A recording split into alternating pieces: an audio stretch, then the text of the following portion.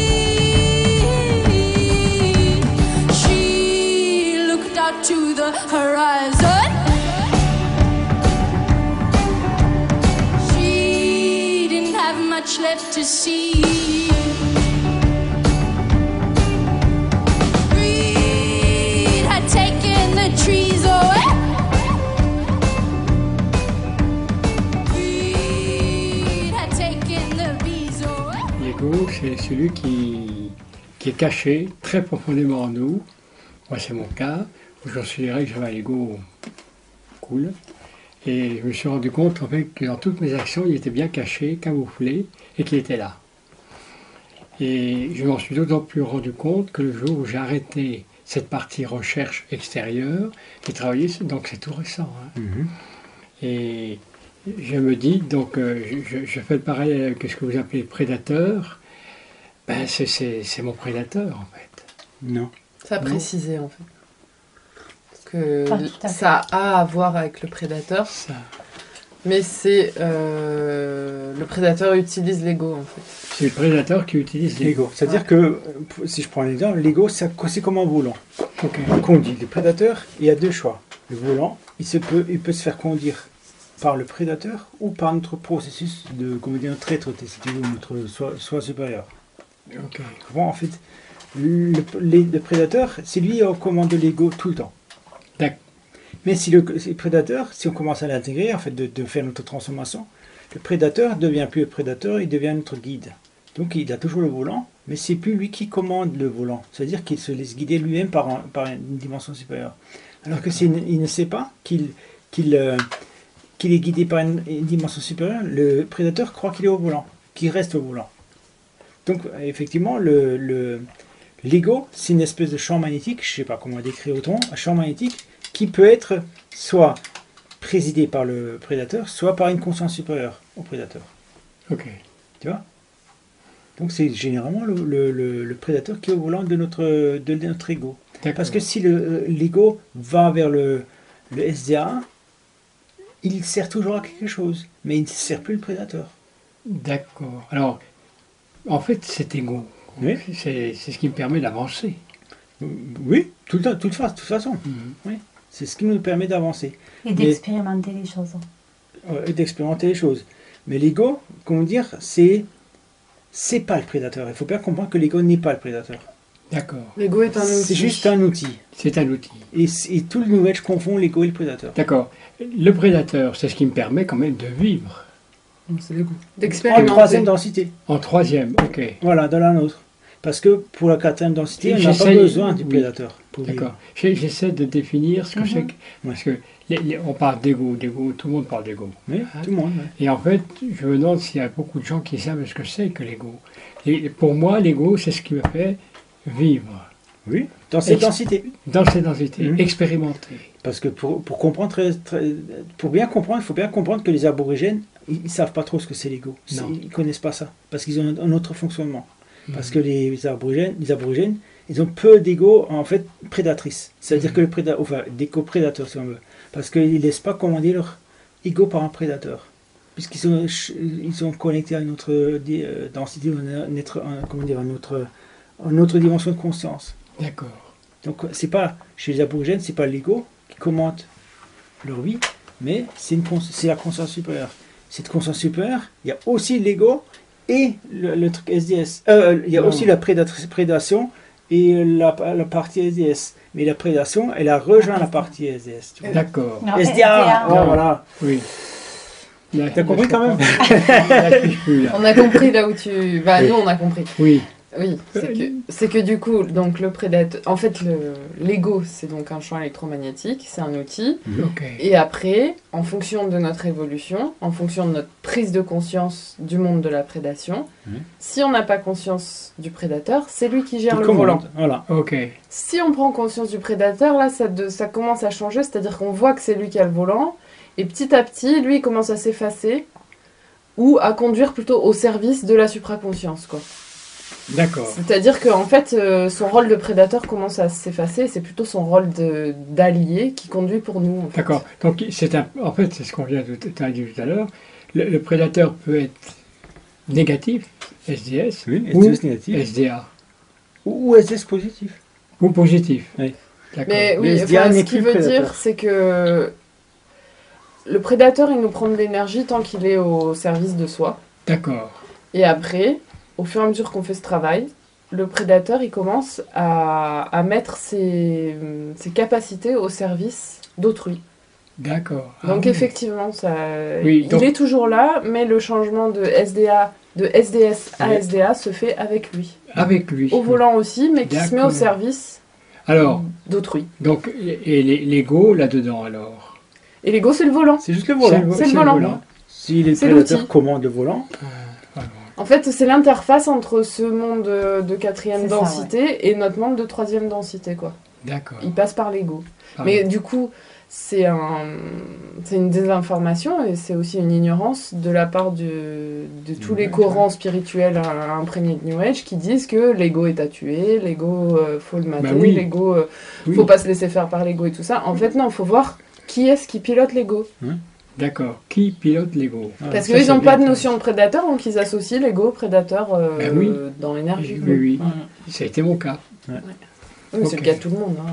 Enfin, je veux dire, on est tous passés Oui, par oui. là, quoi. Oui, Mm. oui donc, en fait, il faut se mettre à travailler le- notre prédateur. Ah oui. et lorsqu'on travaille notre prédateur, euh, on- c'est comme si on travaillait notre ego. D'accord. Mais en fait, l'ego, il peut être au service d'autrui à un moment donné. On Si- travaille la souplesse de l'ego. Voilà. Alors, question que je, vous- je vous pose tous. Qu'est-ce que vous faites de la relation corps-âme-pensée Ou corps, âme, esprit. Bah, en fait, nous, on appelle ça aligné. C'est-à-dire que tous nos trois corps, pour moi, hein, c'est tous nos trois corps, il faut qu'ils soient dans la même énergie, c'est-à-dire dans la même verticalité. En fait, il n'y a pas de mensonge l'un par rapport à l'autre. Ok. Tu comprends? L'esprit, le corps et l'âme, c'est-à-dire que si on, on prend conscience de quelque chose, c'est l'esprit qui prend conscience. Mais s'il ne communique pas à l'âme de ce qu'il a pris conscience, notre corps ne peut pas agir en, en- en conséquence. Je prends un exemple. Si on sait que le sucre n'est pas bon, ben faut arrêter de, au, au corps, faut arrêter de donner du sucre au corps. C'est ça. Tu comprends? Les gens qui, euh, qui font sur Internet, on voit souvent sur euh, Facebook, il y a des gens qui font des articles comme ça, et je connais des gens en Alsace, qui font des articles incroyables sur le sucre, mais continuent à manger. Tu comprends? Le sucre n'est pas bon. C'est comme les fumeurs. Les fumeurs, ils fument des paquets de cigarettes, c'est marqué dessus, en gros, en grand, tout ce que tu veux, que c'est dangereux pour la bonne santé. Ok, ils achètent quand même. Donc ils ne sont pas alignés Ils sont pas alignés. Ils ne sont pas liés. Ils- sont pas alignés. avec l'information qu'ils ont. Ça Voilà. rejoint la connaissance que c'est de la ré- le savoir se transforme en connaissance à partir du moment où il est acté. Donc à partir du moment où il traverse les cellules. Quoi. D'accord. Alors là, ça commence à me passionner. Le fait d'acter, c'est l'âme qui sert de conduit d'acte, ce qui sert de conduit entre l'esprit et le corps physique. C'est l'âme qui sert ça. Tu comprends? En fait, quand, quand, notre, quand nous, on n'est pas aligné à notre esprit, c'est qu'il y a un blocage dans l'âme. Tu vois, l'âme sert de conduit de tunnel entre les Ok. deux. Si, si, si notre corps, il ne peut pas se connecter à son esprit, c'est qu'il y a un blocage au niveau de l'âme. Logique. C'est fermé au niveau de l'âme. Mhm. Mais si nous- on arrive à, à, comment dire, à faire toutes les, tout notre travail sur nos mémoires, donc ce sont les mémoires de l'âme, l'âme peut ouvrir son canal et se connecter à l'esprit. D'accord. Alors, j'en parlais ce matin avec Nina. Euh, Dans le livre de Dubansky, là, Courtier parle à un moment donné de l'importance dans, de, de ces trois relations Mhm. dans chaque action, tout le temps. Ah oui. C'est-à-dire que quand vous travaillez le corps, Mhm. vous devez associer le mental Et l'esprit. et l'esprit. Enfin, le mental et l'âme, le corps, Oui, l'âme âme, esprit. et l'esprit. Parce que l'esprit et le mental, c'est la même chose. Voilà. Quand vous travaillez avec euh, l'esprit, vous devez associer le corps et l'âme.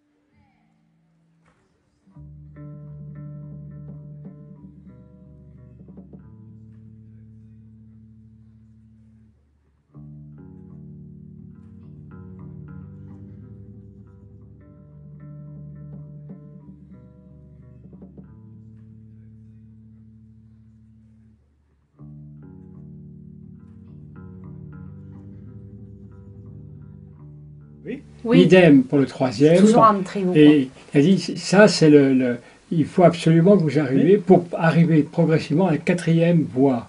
Mhm. Ah, tu parles de Gurdjieff Oui. Oui. Oui, oui. Ah, j'avais pas compris. Jeff. Oui, parce qu'en fait, il dit. T'as dit Dobrowski ou un truc comme ça. Ouspensky. Ah oui, Mais, d'accord, euh. Je sais même pas si ça se prononce ça comme ça, en tout cas. Dobrowski. Non, c'est, c'est- c'est- moi ça me passionne, c'est, c'est vraiment un- un- un- pour moi, c'est, je suis vraiment dans un passage épogéal. Mhm. Et ça, j'irai. Oh, oh, Ah, j'ai- j'ai- On va attendre dans le micro. Oui, parce que bon, ok. Tu vois, en fait, euh, ça, ça c'est sur un plan, comment dire, théorique.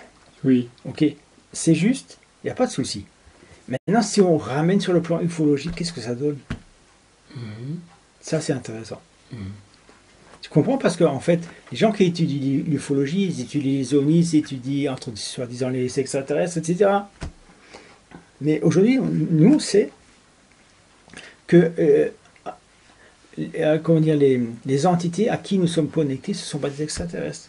Ce sont des extranéens. En fait, c'est nous dans le futur dans le passé. Mais en réalité, il n'y a pas de futur et de passé. Donc c'est bizarre. hein. Oui, on est dans le présent. Ouais. Cependant, à l'époque de Roswell, il y a des entités qui sont, qui sont venues sur Terre pour délivrer un message à l'humain. Ces mêmes entités ont délivré un message euh, aux humains par des crop circles. Toutes ces choses-là. Alors, qui sont ces entités? Donc, c'est vraiment des grilles ou d'autres entités Voilà. qui ont, une, qui ont une, une- une- une apparence humanoïde. Donc, ce ne sont pas des humains, c'est autre chose.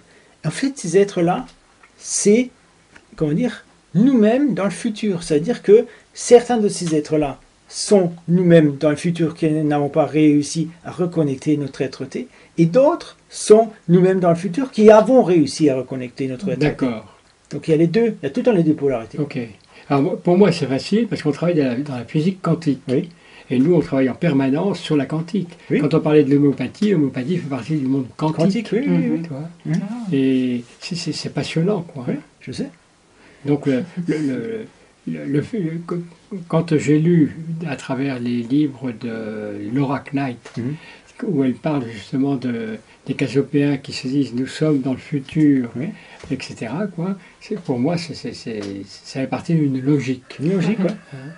Ça, C'est passionnant, quoi. Mhm. Parce que le futur et le passé, c'est la même chose. Oui, Tu vois, si, si je pourrais prendre un exemple, je prends ce verre, ça c'est présent, hein, ok. le présent. Nous, on, on perçoit notre, tout notre univers à, à travers notre présent. Mais en fait, si on, on suppose que le bord du verre, ça correspond à une énergie du présent, la deuxième énergie qui se propage pour nous, donc je prends ce demi-cercle entre mes deux mains, tu vois, enfin, euh, euh, Oui. disons ça, Entre tes avant-bras. jusqu'ici, c'est un demi-cercle qui est une autre densité. C'est ça. Ok. Cette entre-densité, si on regarde nous, cette moitié-là, ça représente le passé, l'autre moitié représente le futur. Mhm. Pourtant, c'est la même euh, Énergie. euh, énergie, mais c'est le même cycle temporel. Mhm. Parce que nous, on identifie cette partie au passé, alors Mhm. que en fait, c'est la même. Tu comprends? Absolument. mais, mais notre vie, notre durée de vie est beaucoup plus courte. Mais bien sûr. C'est-à-dire que les entités qui vivent sur cette ligne temporelle, ils ont une, une durée de vie Plus qui, qui, qui commence avant notre vie à nous et qui termine après notre, euh, qui, qui termine après notre vie à nous. Fait une troisième main. Voilà. Tu vois, en fait, ça veut dire qu'ils ont une durée de vie beaucoup, beaucoup plus grande que la nôtre. Mhm. C'est- C'est pareil que si, si on prend une limace, ou je sais pas moi, quand on voit une limace sur le bord d'un chemin, ben, la limace ne nous perçoit pas parce qu'on est beaucoup trop rapide. Absolument. Ou le hérisson. Oui, enfin, ça, parce que Là, tu l'as déstabilisé, Ouais. là. On s'attendait pas où est le, le son. le hérisson a, a une très faible per- euh, Perception, quoi. Perception. Oui. Ah ouais. Et il, il ne- il ne perçoit pas la distance. Il ne sait Ouais. pas ce que c'est que la distance. Mhm. C'est pour ça qu'ils se font écraser à fond euh, sur Ah les routes, oui. quoi, qui n'ont pas du tout la, la même. Non, bien sûr. Mais effectivement, quoi. Ben, nous, on a aussi des, des- des limites dans ce genre. Bon, euh, je n'ai jamais pensé à l'érection, mais c'est limite, tu vois. C'est-à-dire que nous, on, on est en érection dans notre densité, dans, dans la multidimensionnalité. Oui, mais on, est, on est en train de glisser en ce moment vers la, la quatrième dimension. Oui. Hein, D'où la, la physique quantique, la- les mathématiques quantiques, la, chimie quantique. Mhm. Euh, C'est vraiment une, une, une glissade euh, douce Oui. vers autre chose. Ouais. Et c'est pour ça que nombre de, de, enfin, de, de- de gens dans le monde dit scientifique, j'ai bien dit, euh, ils refusent totalement, si tu veux, ce monde-là, parce que Eh oui. il- mathématiquement, il n'est pas applicable. Mhm. Non, Mhm. Du coup, c'est là où le temps n'existe pas, le quantique, au final. Oui. oui, oui, Oui, oui, c'est ça. C'est-à-dire que c'est pas qu'il n'existe pas, c'est que c'est une autre dimension. Mhm. Ouais. vois, C'est comme les, les bras. et les- Ouais, ouais. les- on on s'apercevra dans. On a commencé d'ailleurs hein, à s'apercevoir. Qu'il y, a- il y a une autre. Au-delà, il y a encore une Il y en a autre. d'autres, oui. Et, et, tu vois, Il y en a plein des couches. et oui, C'est ce que j'ai expliqué dans l'histoire de, de l'oignon. C'est ça, Voilà. les pelures d'oignon. Y En fait, notre Terre, quand on la voit de, de, de- de la quatrième densité, en fait, avec conscience de cinquième ou quatrième densité, ce sont des couches d'oignons. Tout à fait.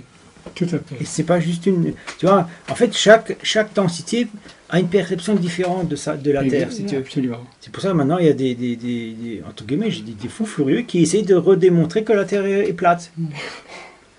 Ils perdent leur temps parce que ça n'a rien à voir.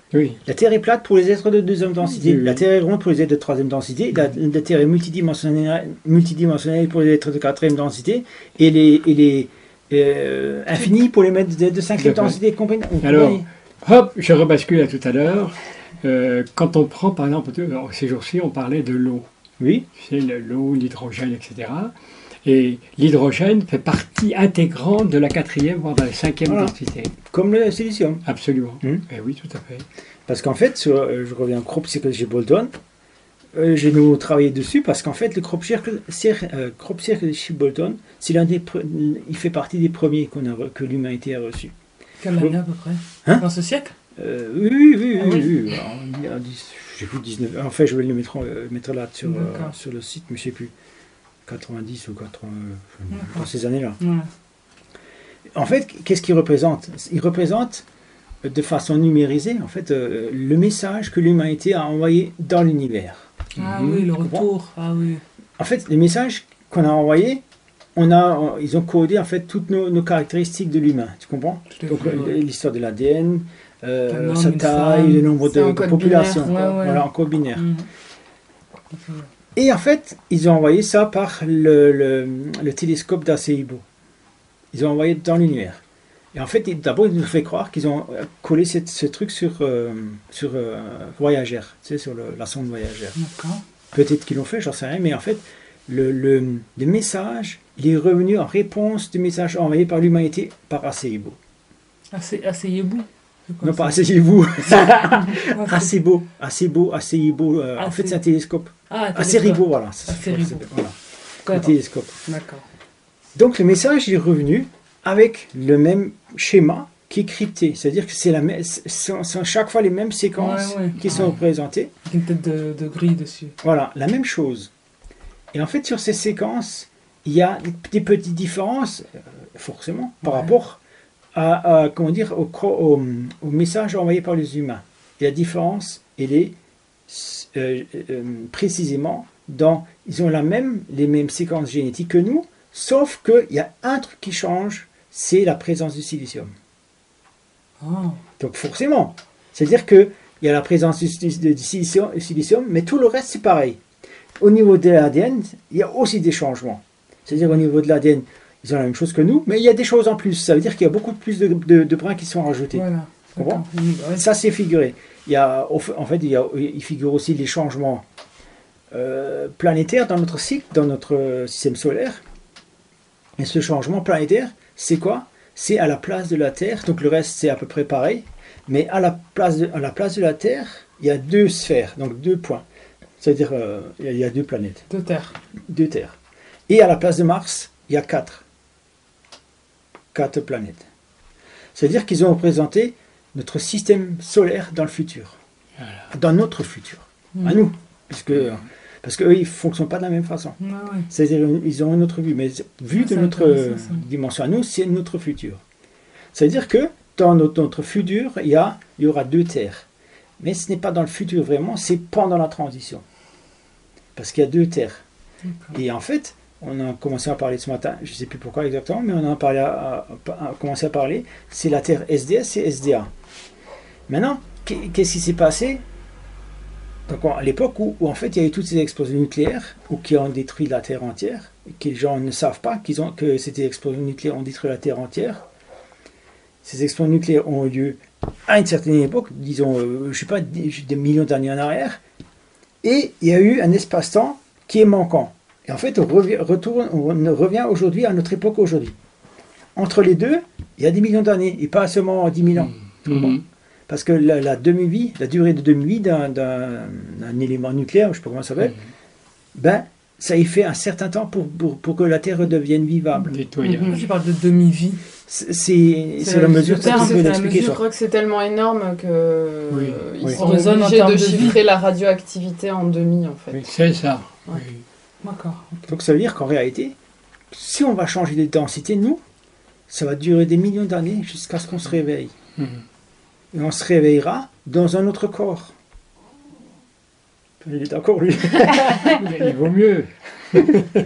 En fait, ça veut dire que si on regarde comment ça s'est passé dans les, dans les trucs d'avant, dans, dans- dans la, euh, la dernière euh, basculement de l'humanité, la trans- transition, c'est l'époque de l'Atlantide qui est revenue à l'époque d'aujourd'hui, qui, en fait, qui a fait la transition à aujourd'hui. Et cette transition a été faite par les descendants de Noé, entre guillemets, les Simites, les Chamites, tous ces, êtres-là. Et entre, entre, ces- entre, dans cette transition, c'était eux qui étaient des géants. Ils étaient des géants par rapport à nous. Des géants. Oui, des Ouais. géants. Et ils sont revenus aux hommes préhistoriques? Oui, oui, oui, oui, oui. Ah. C'est-à-dire que nous, ce qu'on ce qu'on nomme- ce qu'on appelle les, dom- hommes les- les- préhistoire, les ouais. hommes préhistoriques, Ouais. en fait, ils sont revenus sur Terre avec notre technologie moderne. Mhm. C'est pour ça qu'on retrouve des hélicoptères, des avions et, des, et des choses sur les pyramides. Et en Ouais. fait, sur d'autres sites, on a des, on a des descriptions de, de, de, de la technologie moderne d'aujourd'hui. Théorie Pourquoi des Parce- anciens astronautes, ils appellent ça. Voilà, là. voilà, Ouais. voilà. Parce qu'ils avaient les mêmes combinaisons qu'aujourd'hui. En fait, Ouais. tout, tout, tout se, re- se, se reproduit de la même manière. Et en fait, les cycles continuent toujours. de la même- En fait, ces cycles, ils arrivent tout le temps, tout le temps, tout le temps, tout le temps. Et l'humanité va faire la même chose, puisque c'est logique. Il ne peut pas faire autrement que de refaire la même chose. Mais comme il fait la même chose, comme cette humanité fait la même chose, il y a toujours une certaine quantité de personnes qui ont pris conscience des choses et qui peuvent changer de densité. Et en fait, ceux qui prennent conscience des choses, c'est notre travail. En fait, nous, de faire, de, Mm. prendre, de prendre conscience des choses. Parce que nous, on sait qu'on a déjà changé de densité. Et je me demande, ça je ne suis pas sûr, mais on a déjà changé de densité quelque part. Parce que GG, la dernière fois, il a dit, lorsqu'il part en France, dans certaines régions, il voit les, les choses détruites. Des, des régions qui ont été détruites par des, une explosion nucléaire. Le Toulouse, tout ça. Ça veut dire quoi? Ça veut dire qu'un un, un alter à toi a vécu ça. Mm. Donc, ça veut dire que si un, un alter à toi a vécu ça, aujourd'hui, tu ne seras plus obligé de le revivre. Tu comprends Parce qu'il lui Parce a que fait lui te l'expérience. donne l'information de Il te donne l'information de ce qui s'est passé. Là, je comprends. Tu vois? D'accord. Et en fait, je sais que j'ai aussi, il y a plus, sur Internet, on a eu des réponses où des gens vivent la même chose, c'est-à-dire qu'ils ont, qu'ils ont conscience d'une explosion nucléaire qui est arrivée quelque part. Mais personne ne sait exactement quelle année. Mais il y a un mec qui a découvert qu'il y avait une date. Et la date, c'était 2015. Parce qu'il a vu sur, un- euh, quand il a fait une régression, je ne sais pas si c'était sous Hypno, je ne sais plus, il avait vu qu'en 2015, il y avait eu cette ex- explosion nucléaire. Pourtant, nous, on a passé notre date de 2015 et il ne s'est rien passé. Pourquoi? Parce qu'elle s'est passée sur un autre plan. Voilà. Tu comprends? Cet autre plan, il y avait un alter à nous qui a fait l'expérience de l'explosion nucléaire. Donc, comme on a fait cette, expérience-là, nous, on ne sera plus obligé de la faire. D'accord. Mais ça ne veut pas dire que cette explo- explosion nucléaire aujourd'hui n'a pas encore eu lieu. Parce que tout le monde n'a pas fait cette expérience. Eh oui. Tu comprends? Donc, c'est- c'est un casse-tête. Ouais, oui. Parce qu'en fait, on, on a du mal à comprendre euh, l'histoire des, des alters et des, des- des retours dans le passé. Ou de retour dans le futur. Parce qu'on peut dire le Mhm. retour dans le futur. Mhm. Mhm. Bon. Donc c'est un casse-tête. Parce que si tu regardes bien, euh, tu, co- tu connais l'histoire de Bielek? Ça te dit quelque chose. Bielek, c'est un mec, en fait, qui à l'époque Jimmy de... Gueux, il en parlait dans Il a, il en parle aussi, ouais. C'est un militaire qui, a participé à, l'expérience de, de. Oui, oui, je, oui, oui. Tu je vois souviens. En fait, c'est- c'est l'un des, des mécaniciens qui était sur l'Eldridge et qui a sauté dans le futur.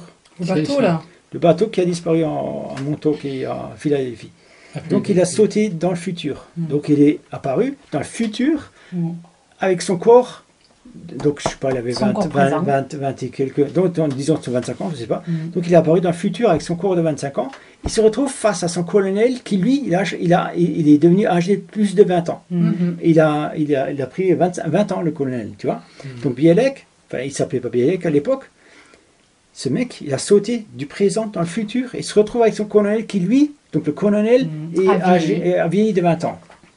Qu'est-ce qu'ils ont fait alors à l'époque? Ils ont dit à Bielek, c'est pas possible ce que tu vis aujourd'hui, il faut que tu retournes dans le passé. Mhm. Mais comme on sait très bien que notre, euh, comment dire, notre densité ne supporte pas deux objets au même endroit. On ne peut pas mettre En deux objets en même temps endroit. au même endroit. Donc ils ont dû euh, ramener Bielek en arrière. Donc ils l'ont réincarné en tant que bébé. Parce que dans le futur, il y avait son Bielek, euh, son, dans le futur, qui existait. Quand on disait, si, quand tu dis, on, il peut pas coexister, comme si deux objets en même temps. Oui, De quoi il parle?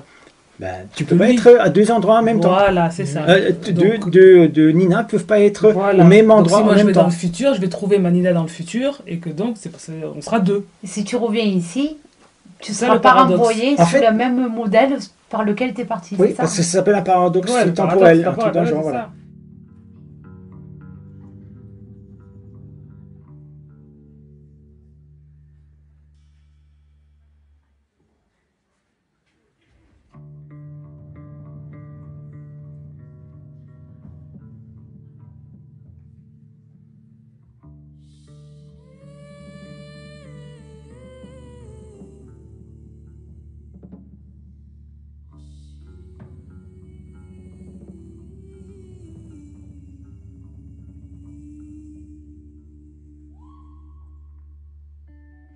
Mais en fait, ça veut dire que si tu veux que ce, ce paradoxe marche, en fait, que tu, que tu te renvoies dans le futur et que c'est Mm. vivable, il faut jamais que tu rencontres ton alter.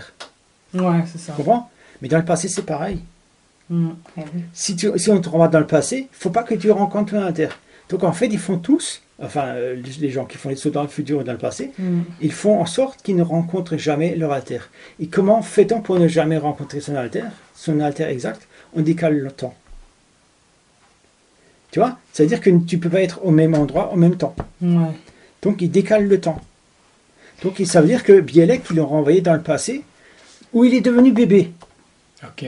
Donc Bielek, il a sauté, il était adulte, et il se retrouve dans un corps de bébé. Et donc il était bébé, mais il avait sa conscience. Donc il avait eu du mal. Tu vois? Ah ouais. Il avait sa conscience, mais qu'est-ce qui s'est passé entre temps Le colonel, lui, il est resté à l'âge de 20 ans. Enfin, de, de- de l'âge qu'il avait, le colonel. Ouais. Mais il avait l'âge qu'il avait à, à- quand Bielek avait 25 ans. Oui, oui, oui. Mhm. Mm. Ça veut dire quoi premier saut, ouais. Ça veut dire quoi Quand on fait un saut dans le futur, si on fait dans dans le futur, celui qui fait le saut ne vieillit pas. Par contre, son environnement vieillit. Eh oui. Logique. Celui qui fait un saut dans le passé, il rajeunit, mais son environnement reste dans le futur. Attends, Dans le son futur, environnement Il reste- reste dans le futur. Le colonel il reste à l'âge qu'il avait quand il a. quand- tu vois, le colonel, a 20 disons, le colonel il a 40 ans, Ouais. il envoie le Bielek dans le passé, Ouais. ben, le colonel il reste à 40 ans, Oui. alors que Bielek il revient dans le passé. Ouais. Donc ça veut dire que quand on fait un saut dans le futur, nous, quand on fait un saut dans le futur, on reste au même âge. Mhm. Donc ça veut dire que si on change de densité, nous, euh, quand on fait notre travail, on change de densité, on se retrouve dans un futur à peu près au, même âge qu'aujourd'hui. Mhm. C'est pour ça que les Cassiopéens, ils ont dit que, en fait, quand on change de densité, on est à peu près à l'âge qu'on a aujourd'hui, 30 ans, etc. En fait, c'est vrai, parce que, euh, tu sais, au niveau, au niveau hum, quantique, l'âge n'a pas d'importance. Mais en fait, Mhm. la meilleure façon de comprendre, c'est la maturité de la- de, de, de l'humain, de l'homme, du corps, âme, esprit. L'âme, et en fait, il est l'entité corps, âme, esprit, son meilleur fonctionnement est à l'âge de 30, 40, 30, 30, 35 ans, tu vois. Donc ça veut dire quand on, quand on passe dans le futur, on va se retrouver dans un corps de 30 à 35 ans à peu près. Tout le monde, tous les gens qui se connaissent, qui- ils ont ça. Ils ont, ils auront cet âge-là. Par contre, ceux qui, qui n'arrivent pas, ils vont continuer à vieillir normalement. Et c'est ce qu'on fait aujourd'hui. On vieillit normalement, lui il vieillit normalement, moi aussi. Mais dans, son, dans mon futur, entre guillemets quantique, dans mon futur euh, qui, qui est déjà prêt, on aura changé d'âge. Mhm.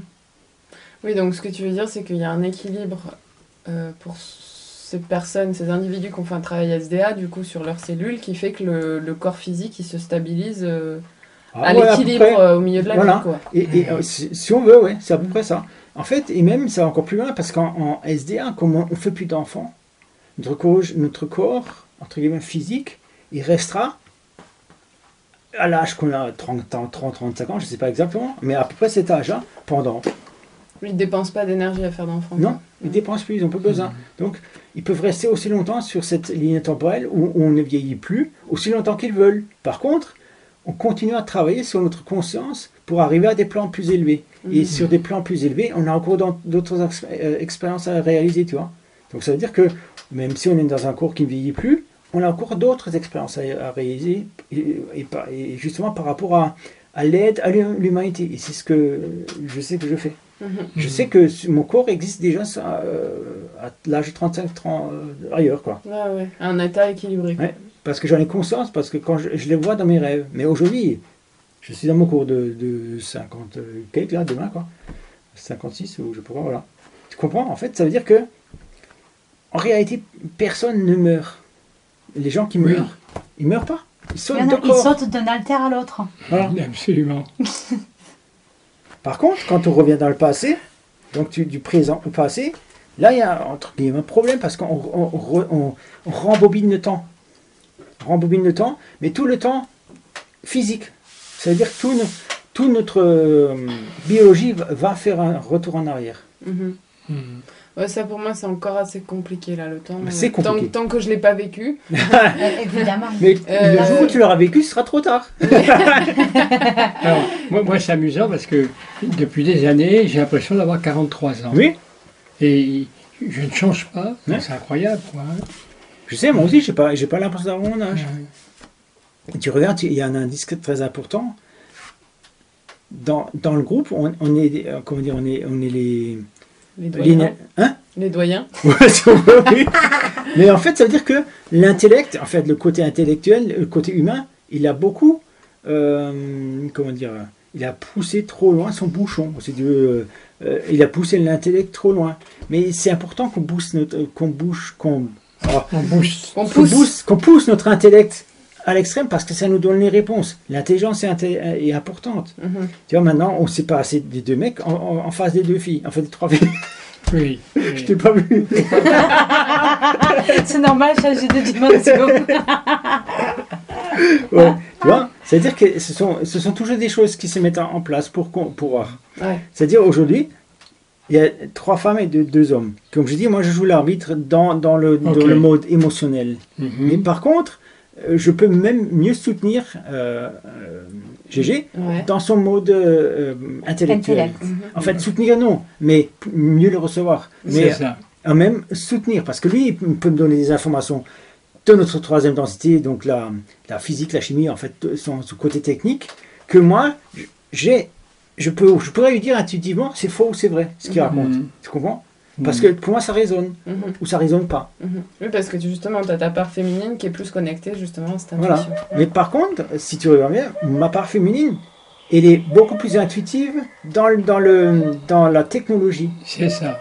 Alors que ma part féminine, elle est moins intuitive dans l'émotionnel. Par contre, ma part Oui. masculine est plus intuitive dans l'émotionnel que lui. Oui, oui, oui, c'est Oui, oui. Tu comprends C'est un équilibre euh, où effectivement ton féminin est un peu plus masculinisé Voilà. et ton, fémi- Masculin- et et ton mon féminin. masculin est un peu plus féminisé. Voilà. Voilà. Alors que moi, pas du tout. Ouais. Mais c'est C'est important. Très masculin. C'est Euh, important qu'il reste comme ça féminin. Ouais. pour l'instant. Non, mais enfin bon, après, c'est pas exactement ce qu'il dit non plus. Mais, Parce ouais. que dans le, fu- dans, le- dans le futur, on sera tous androgynes. Euh, Je reviens quelques, quelques Tu fois il a pas arrière. entendu. Et, toi, et là, je vais dans, dans- tu, vas t'amuser. Au niveau de la silice, Oui. nous, nous savons que la silice est un élément qui a déjà dépassé notre système. Ah oui, oui, oui, oui. Et j'ai travaillé sur la silice puisque j'ai j'ai mis au point la silice organique. Mhm. Et vous avez dû entendre parler de Louis Ribot.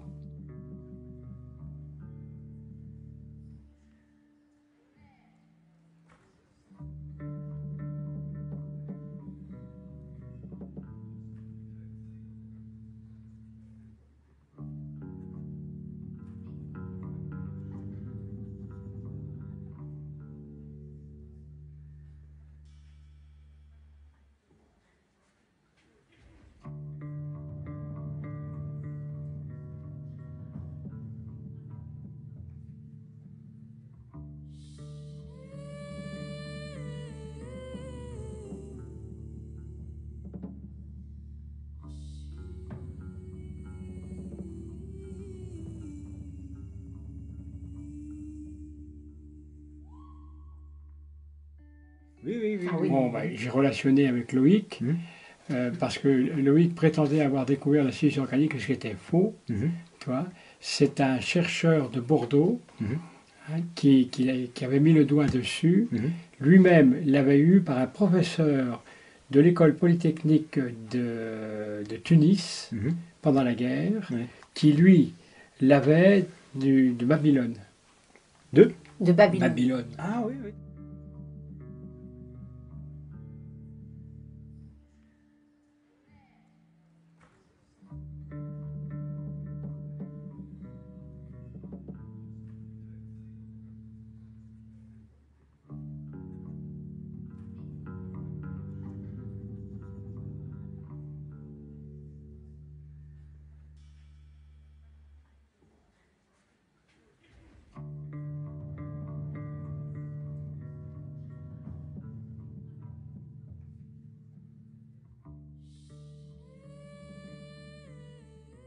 D'accord. Ben T'as oui, ramené de loin. c'est- ça vient de très loin. Ah quoi. oui.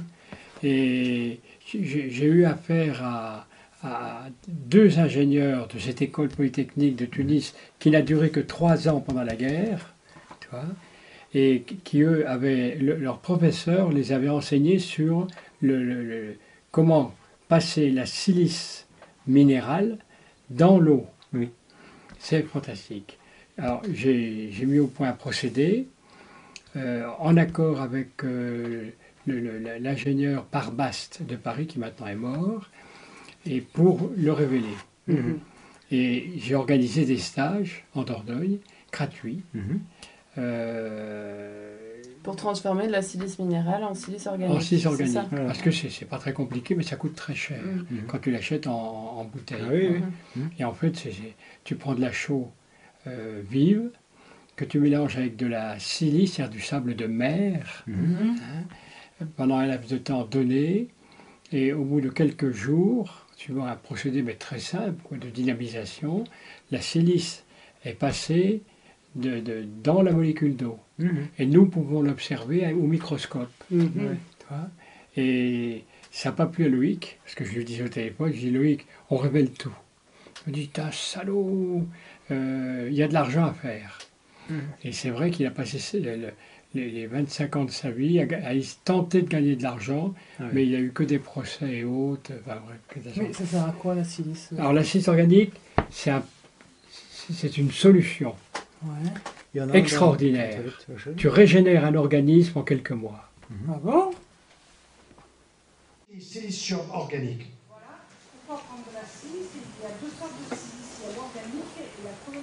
Très bien. Alors, bah, je vais vous donner un exemple. Moi, je prendrais plutôt euh, de la silice venant dans lequel il y a de la prêle, donc qui est d'origine végétale, en concentration assez importante. Et pour rien vous cacher, j'en prends assez régulièrement et je trouve que ça me fait beaucoup de bien. Je ne comprends pas pourquoi je n'ai plus besoin de mes lunettes. Je n'ai plus besoin de lunettes. Alors qu'avant, j'avais besoin de mes lunettes. Pour lire le journal, à la même distance, j'ai plus lunettes. Je ne suis pas sûr que ça soit dû à ça. Ça peut être dû aux abeilles, hein, que je remercie très chaleureusement. Bon, donc, alors ensuite, le deuxième silicium est un silicium qui est effectivement un silicium organique, qui a été mis au point par un Français, qui a eu une histoire assez compliquée. Mais c'est certain que, avec, vous ne risquez pas d'avoir des allergies à d'autres oligoéléments. Il y a des allergies à l'iode. Et dans la prêle, il y a de l'iode. Dans le silicium organique qui ne vient pas de la prêle ou de l'ortie, il n'y a pas d'iode. voyez Mais vous avez du silicium dans l'ortie. Une bonne soupe d'ortie, euh, pas vous rendre euh, tout au rouge. C'est excellent pour la santé. Je ne suis pas pour dire il faut que vous preniez tous les jours du silicium, tous les jours, tous les jours, mais c'est vrai que on s'est rendu compte que nous avions quand même pas mal de carences euh, quand on a fait les dosages dans les sangs, dans les urines. Et si vous en prenez trop, c'est ça qui est intéressant, c'est du gaspillage, parce que vous allez le perdre dans vos urines. Bon, donc il n'y a pas de danger, si vous voulez. Hein. Mais il s'agit d'entre trop. Il s'agit d'en prendre d'une manière qui est juste et adaptée à, à nos besoins. Alors, il faut savoir que quand on mange trop raffiné, on élimine le silicium, par exemple, parce que c'est la, la, la pellicule du grain qui en contient. Nina, mais je vais me tromper dedans.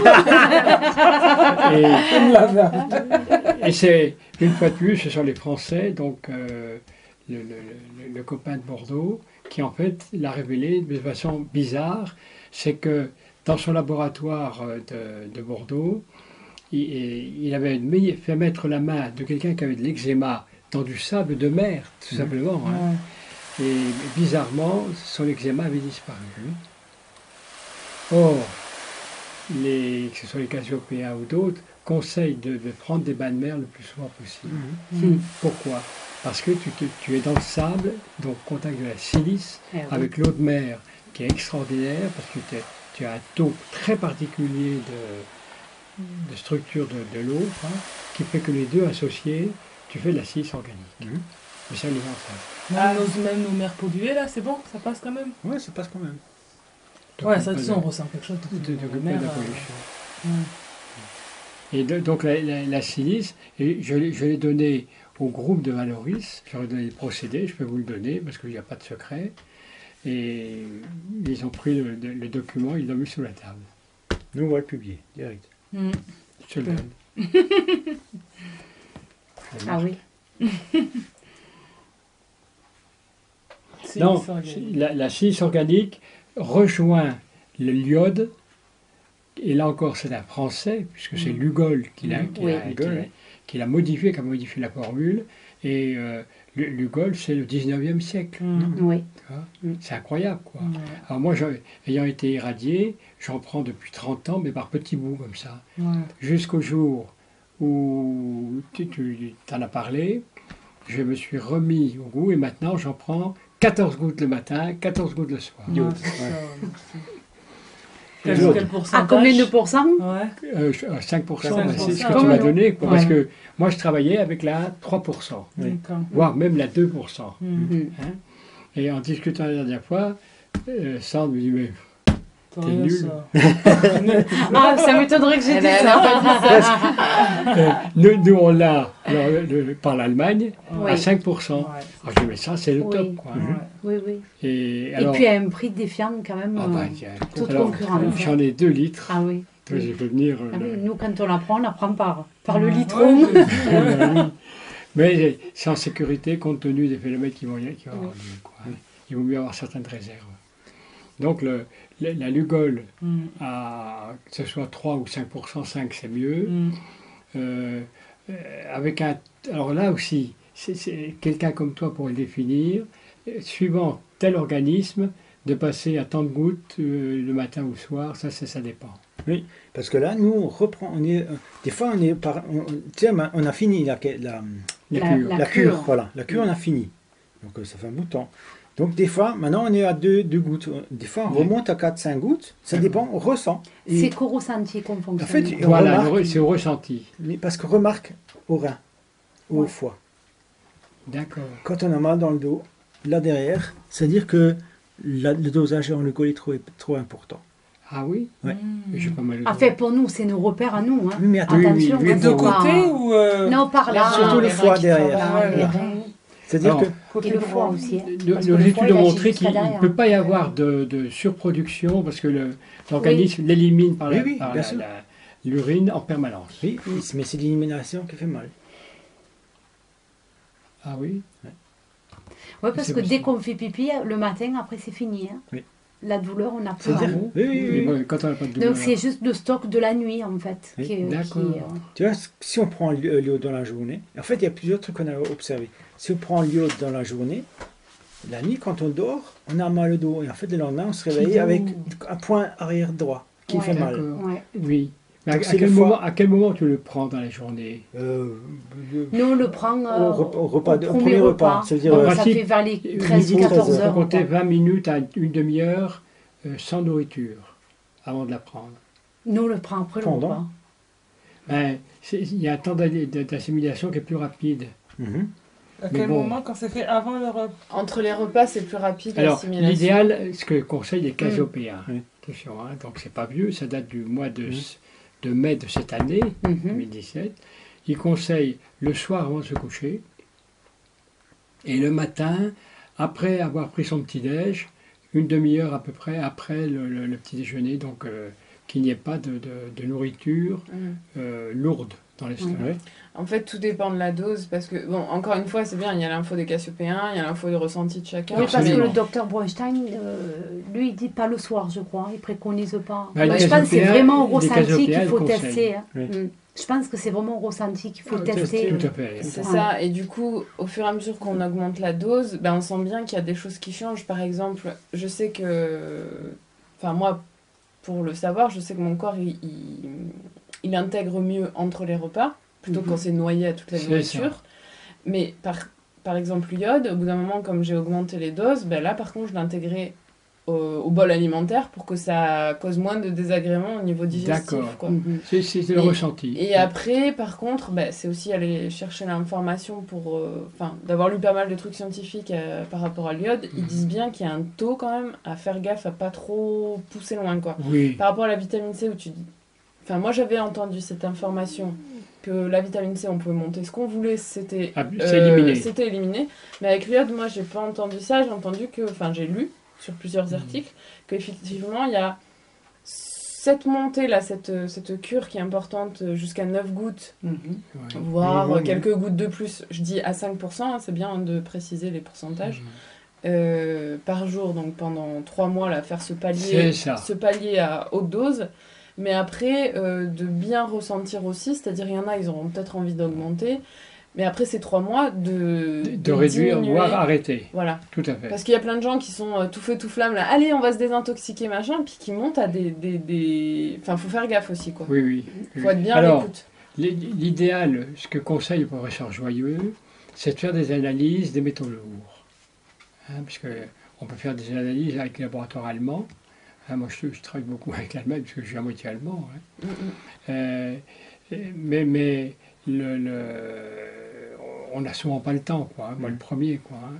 Ouais, Euh, puis Ça, l'énergie financière aussi. Oui, alors comme j'ai été irradié, pour moi, c'est plus facile. C'est sang- Oui. sanguin, c'est Hein ça, on prend les analyses de sang pour Oui. les métaux lourds. Oui, c'est ça, oui. Ouais, vrai, ça peut Mais, idem, que j'en reviens à la silice organique. La silice organique, c'est à, à prendre en cure. Et là, de ce côté-là, ça rejoint, le- enfin, je rejoins moi le professeur Joyeux et son équipe là. dit, tous- tous les compléments alimentaires de toujours les faire en cure, Mhm. mais Oui. jamais en continu, Oui. parce qu'on met en sommeil au niveau organique certaines cellules, certaines, Mmh, certains ils sont organes. faits pour produire ça. ouais. Absolument. Mm, mm. Donc il faut surtout pas en continu. Ouais, ouais. Même si on dit que, par exemple, comme la vitamine C, euh, on n'est pas, notre corps n'est pas fait pour la produire, ben, on peut bien imaginer que là où on va, notre corps, il, il se débrouille pour produire aussi ce dont Ah, il a besoin. quoi. Donc si on lui apporte la vitamine C tout le temps, tout le temps, tout le temps, peut-être qu'effectivement, ça bloque Ah, certaines choses. quoi. complètement. Mais ah, j'allais dire, juste par moi, mon expérience, euh, pour avoir pris euh, tous les compléments euh, dès qu'on a pris la cure, euh, qu'on a fait la cure d'iode, euh, au début, j'étais tellement dans la peur que je. Et déjà dans le rejet de prendre des compléments, parce que Mhm. jamais dans ma vie j'ai pris de supplémentation comme ça, puis j'étais pas spécialement pour. J'ai tellement été dans le rejet que j'étais obligée d'expérimenter de prendre des compléments alimentaires. Et deux, je me suis dit, ben tiens, aussi ça m'a donné une autre vision de mon corps physique. J'ai eu la sensation de prendre soin de lui, euh, d'être plus à l'écoute, ce qui était vrai. Et à tel point que euh, je pensais prendre ça, euh, je savais que c'était pas à long terme, mais quand même, euh, j'arrivais pas à me défaire maintenant de la supplémentation des vitamines euh, diverses et variées.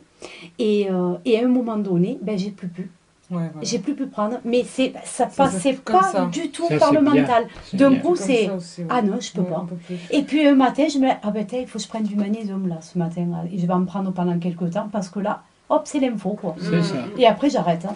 Ouais. En fait, là, il y a un, un truc qui est important à comprendre. Mm. C'est-à-dire qu'on parlait de l'intuition et tout ça. Mm. Lorsqu'on fait ce genre de choses, d'expérience, donc avec l'iode, avec euh, maintenant le silicium ou avec d'autres choses, c'est-à-dire que si on prend des mesures, on les communique à quelqu'un. Si moi je, je dis à Hélène, il faut que tu prennes 50 cc de ça, 100 cc de ça, enfin, en fait, je lui donne un dosage.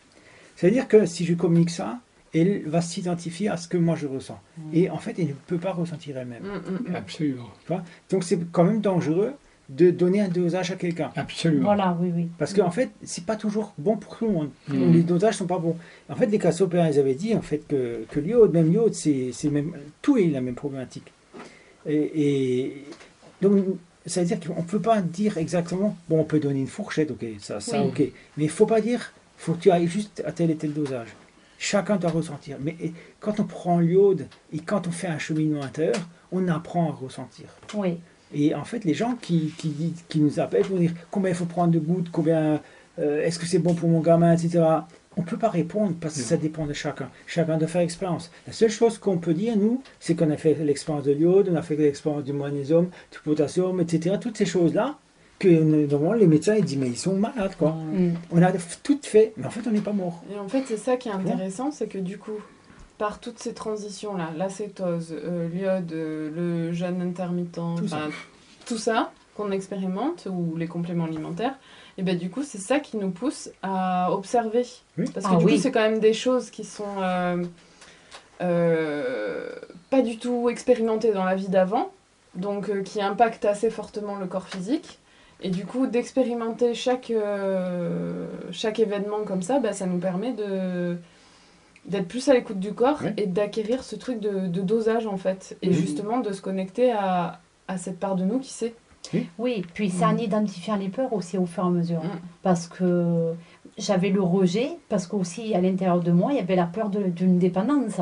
Mhm. Et quand j'ai commencé, effectivement, il y a une dépendance qui Mm. s'est réveillée, parce que je me suis dit, ben non, t'es en sécurité, euh, euh, tu fais le régime cétogène, c'est pas connu, euh, au moins tu prends des compléments et tu sais que tu manqueras de rien. Je veux dire, ça, c'est toutes les peurs qui se Mhm. dissimulent derrière et dont on n'a pas conscience tant Mhm. qu'on ne vit pas le processus. Mhm.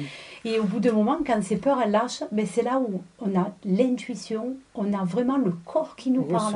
les, les. Comme là, à l'heure actuelle, bon, on continue l'iode, euh, mais pour moi, euh, je, le- je prends du potassium. Lui, non, mais moi, j'adore le potassium.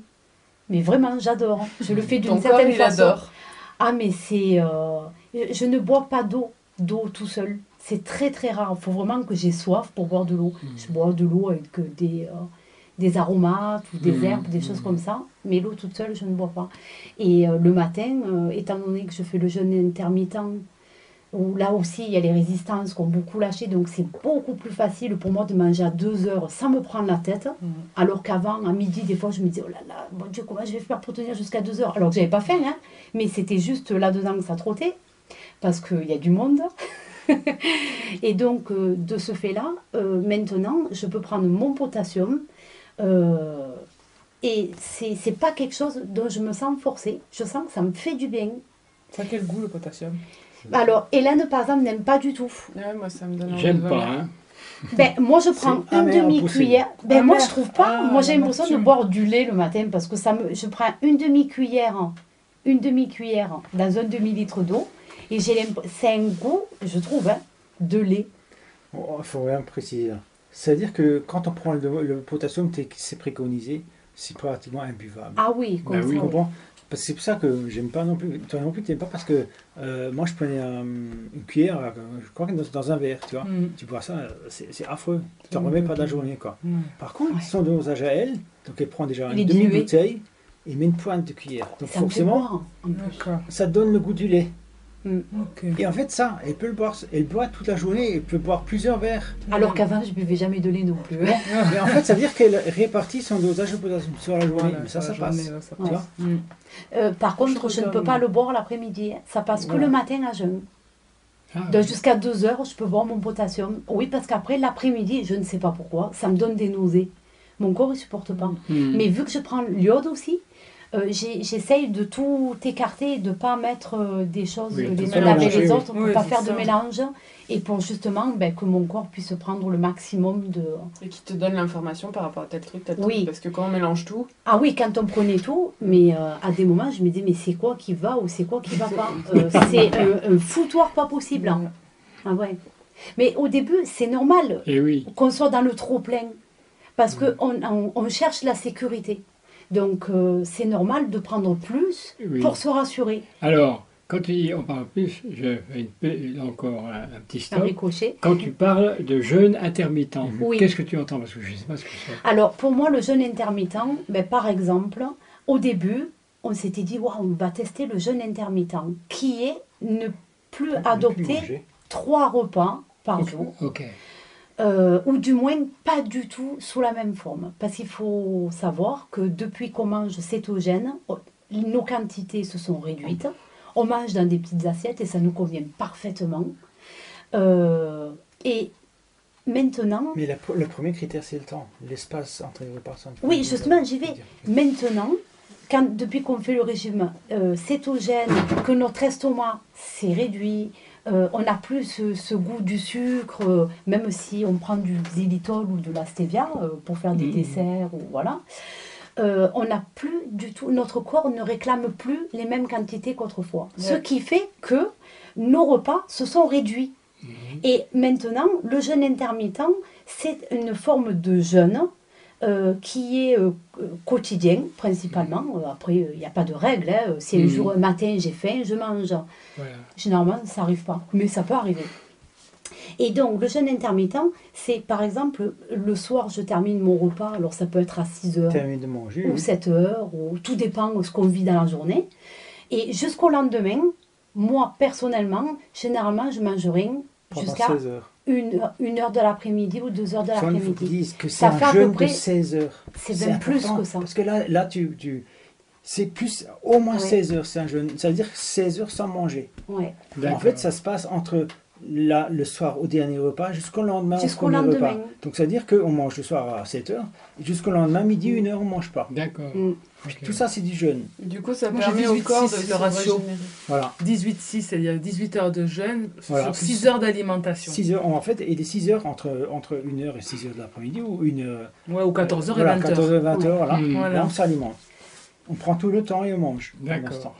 Et après, l'estomac, il- ses il se repose, voilà. Ah oui, il se repose. Et même, enfin, pour ma part aussi, Mhm. j'ai expérimenté boire au lever et après euh, boire toute la journée, parce que je bois quand même à peu près C'est 2 important. litres par jour. hein. C'est Mm. le- ce qu'il faut. Et euh, donc euh, maintenant, j'arrive plus à boire au lever. J'ai remarqué que quand je bois au lever, mon estomac il se met en route. Bah oui, il se réveille. Et après, euh, j'ai faim alors que j'ai pas Oui. faim. Quoi. Ouais. Bon. Oui, oui.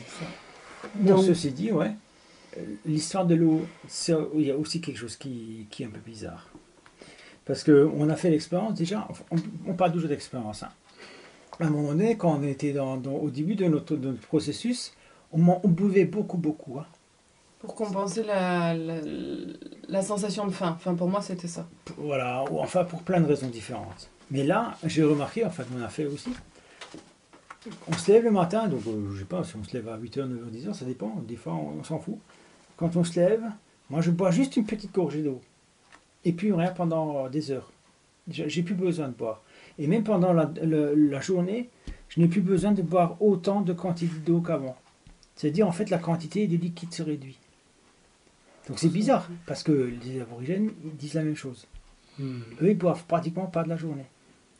En fait, ils se contentent très peu d'eau. Et ils ne comprennent pas comment l'humain se noie dans l'eau.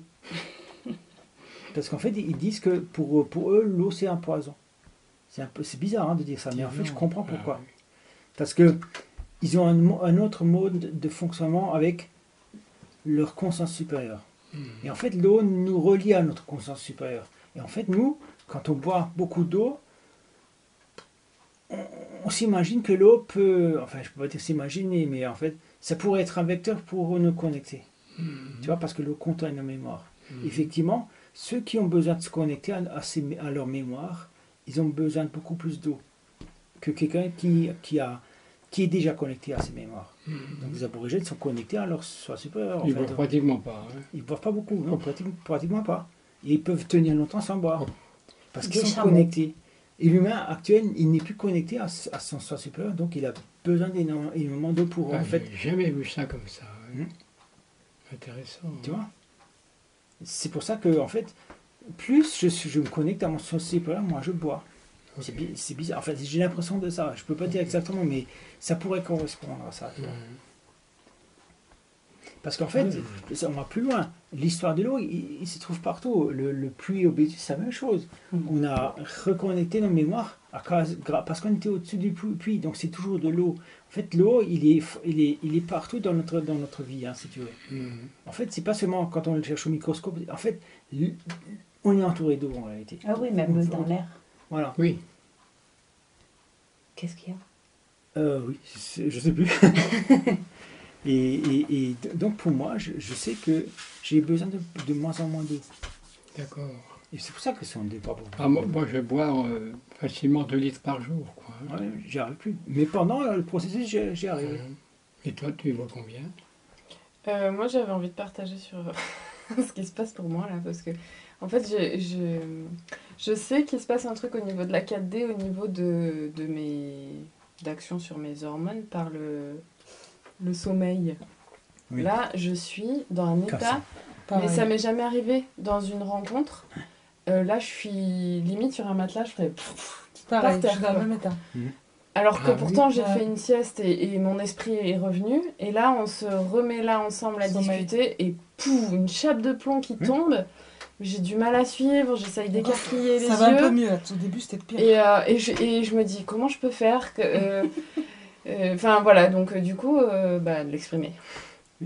Donc en plus il m'a tendu la perche et, et voilà, il y, a ça- il y a ça qui, pour moi, je sais que c'est une, une interférence qui est en Mhm. train de se passer au niveau Mhm. de...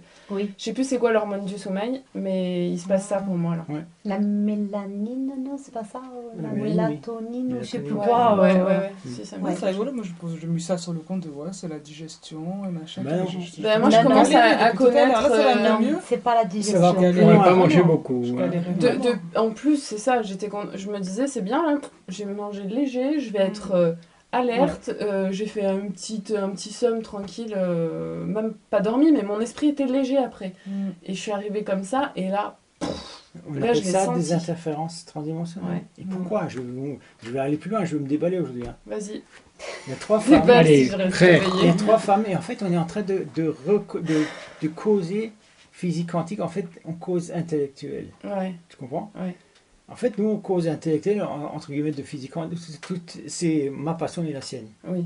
Donc je dis, je dis bien, Non, c'est le masculin qui c'est s'exprime. qui est masculin qui s'exprime, il est féminin, dans, dans, dans ses mémoires, il rejette le masculin. Donc Mhm. il lutte de toutes ses forces. Mhm.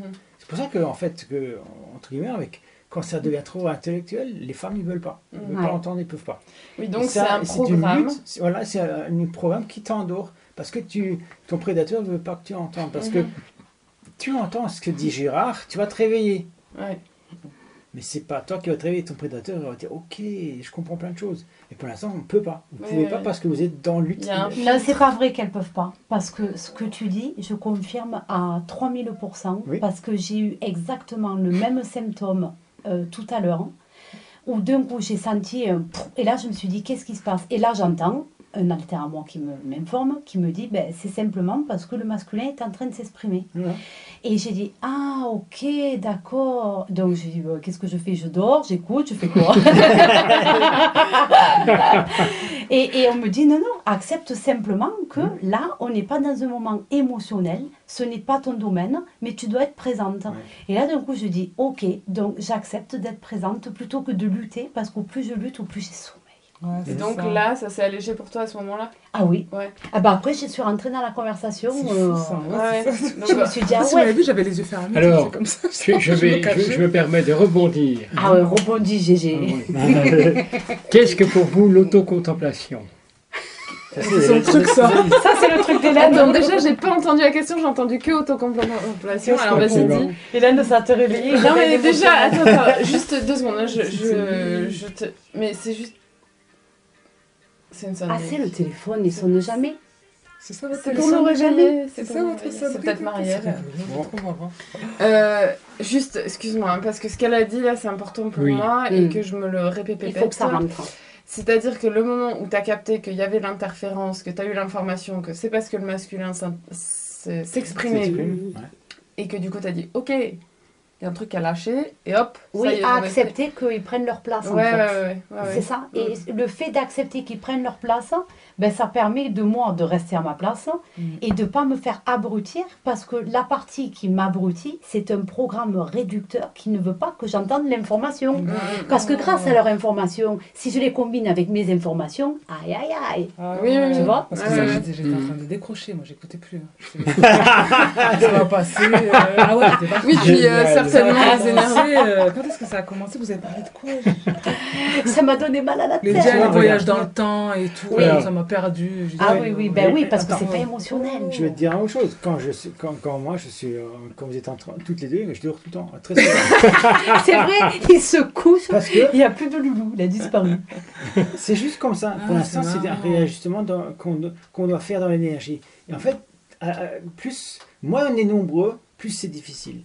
Plus on est nombreux, Ouais. plus le réajustement se fait. Mais en fait, il suffit. Il ne s'agit pas d'être réveillé. Si tu as envie de dormir, c'est pas un problème. Ouais, non, non, mais le fait déjà Mais- d'en avoir de là, c'est, c'est, Oui. c'est- ça y est, ça se, tu vois, les yeux ils s'ouvrent, euh, ça c'est déjà, c'est rigolo. Hein. Et Eh oui, parce que tu te sens concerné. Ouais, enfin, ouais, et puis le fait de comprendre ce qui m'arrive en fait. Eh ben, c'est ça. Mm. Ce sont des interférences Mm, dimensionnelles, c'est-à-dire mm. que les, pré- les prédateurs, en fait, on peut pas l'am- on peut pas vraiment le nommer à son moment-là, les Mm. prédateurs, mais c'est juste des interférences qui, en fait, qui, travaillent sur le réajustement énergétique entre l'homme et la femme, entre la sexualité féminine et masculine, la sexualité du, du Ouais, chakra ouais. supérieur. Bah ouais. Tu comprends En fait, c'était ton chakra supérieur, il se met en activité, Mm. tu dors. C'est rigolo, moi qui me croyais euh, très masculine en fait, même dans mon énergie et tout, ben, je me rends compte que non en fait. Ben, ton côté masculin, c'est juste celui de la rébellion. euh, Ouais. c'est- ça. Le rejet, euh, Ouais. c'est le côté masculin. En fait, c'est le masculin euh, prédateur que t'as. Ah, ouais, le euh, Boule. Le Ball. Du coup, Gérard, tu disais par rapport. euh, Qu'est-ce que À la- l'auto-contemplation. Oui. Alors. Explique-nous, qu'est-ce que tu entends par l'autocontemplation? Parce que là encore, ça touche l'ego. Allez, réveille-toi, Hélène. Allez, Et dis-moi ce que t'en as compris euh, d'après les- toutes les lectures que t'as fait et puis après. ben, si tu veux, l'autocontemplation, j'ai marqué, et les sous-programmes, l'attachement et l'addiction. Mhm. Et là, on en revient à l'attachement, Mm. qui Ah, me bouleverse, dans qui me... euh, Castaneda. parce que je me rends compte que l'attachement, je l'ai en tout. Mhm. Ah oui. Et ça, ça me... Vulgairement, ça, ça- ça me perturbe. Ah, L'auto- T'allais dire ça te gonfle. Tu le, tu le Oui. Vis. pas osé oui. le dire. J'ai pas osé le dire. Bah ouais, l'autocontemplation, c'est le, le- c'est le programme de base de le- du prédateur euh, de la 3D. Enfin, on va dire c'est comme son socle euh, où il fonctionne avec l'autocontemplation. Vu qu'on est depuis gamin, euh, on est formaté à faire quelque chose pour faire plaisir à maman, pour qu'elle nous dise ah c'est bien. Et là, ça y est, euh, ça comment dire, ça nous fait rentrer de l'énergie. Absolument. Et après, on, on- on- ce fonctionnement de base, et bah du coup, il est tout le temps répété à tous les niveaux. à tous les niveaux. Donc au niveau professionnel, au niveau Absolument. affectif, au niveau euh, enfin, Et moi, sans m'en rendre compte. Ce que j'avais Ouais. noté, moi, on parlait des chaînes de l'auto- l'autocontemplation. Ouais. Ça, c'est intéressant de, voilà, de- de l'attachement, effectivement. C'est-à-dire qu'en fait, c'est l'autocontemplation qui attache, qui Mhm. enchaîne. Donc j'avais noté ça, les chaînes de Ce sont l'autocontemplation. toutes les, toutes les fonctions du service de soi. Ok. Attends, donc pour reprendre ce que tu dis, l'attachement, c'est les chaînes de l'autocontemplation. C'est ça que tu dis? Ouais, non, c'est l'une des chaînes. c'est l'une des chaînes. C'est-à-dire qu'en fait, définition, la page 60, page 73 de la force du silence que j'ai, là, Mhm. Définition des chaînes de l'autocontemplation.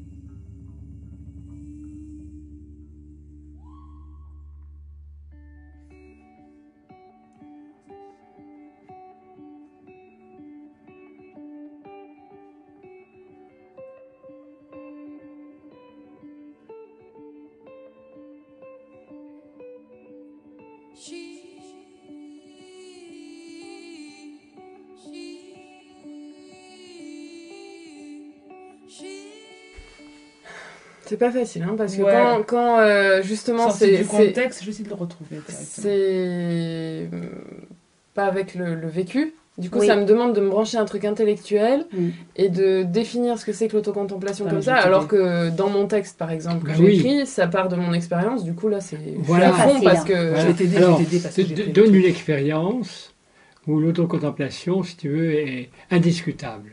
On, on- on la voit devant. euh, je me souviens plus dans quel. de- si c'est le. euh, oui, c'est dans le chapitre 10, mais euh, une expérience.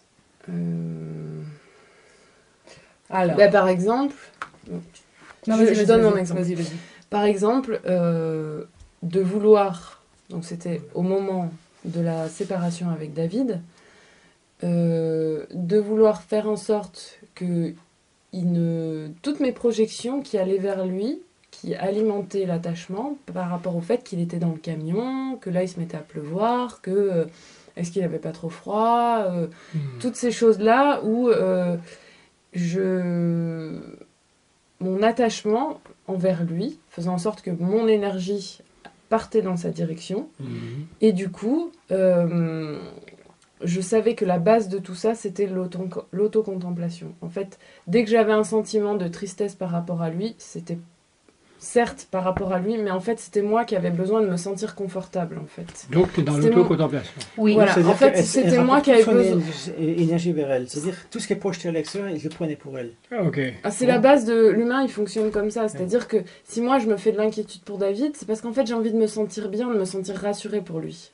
Euh, Ouais, ne, une- plus, ne plus ressentir l'inquiétude qui t'habite. Voilà, une grand-mère qui va euh, dire Ah non, non, mais tu, tu, tu marches pas trop tard la nuit, et puis, pas- et puis ci, et puis ça, tu fais attention, tu prends pas froid, tu mets ta veste. En fait, c'est quelqu'un qui a peur, donc c'est ses propres peurs, Hmm. qui voudrait euh, atténuer Chez l'autre. en, en, en agissant sur l'autre. Donc c'est pour ça que c'est à la fois l'attachement à l'autre, Oui. c'est à la fois une prise énergétique du prédateur oui, envers l'autre, parce qu'on l'empêche de vivre les expériences qu'il doit vivre. oui. Et du coup, c'est à la fois euh, cette autocontemplation-là qu'on vient combler chez nous. Euh, Ce manque. euh, voilà, on vrai. comble ce manque. C'est cette autocontemplation-là qui fonctionne à plein pot parce qu'on Oui. l'a pas vu, quoi. Oh la vache. Ah, ouais. Alors, petit moment de lecture? Vas-y. Allez. Pas longtemps. Pas longtemps. pour toi, hein. Sinon, tout le monde s'endort. Non. non. Les sorciers disent que le quatrième noyau abstrait intervient quand l'esprit brise les chaînes de notre autocontemplation, dit-il donc dans Don Juan. Briser nos chaînes est une chose magnifique, mais aussi très peu souhaitable car personne ne veut être libre. Mm.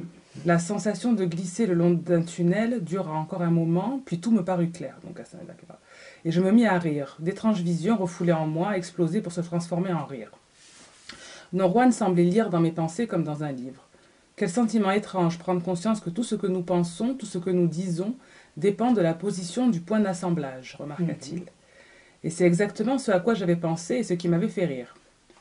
Je sais qu'en ce moment, ton point d'assemblage s'est déplacé, poursuivit-il, et que tu as compris le secret de nos chaînes.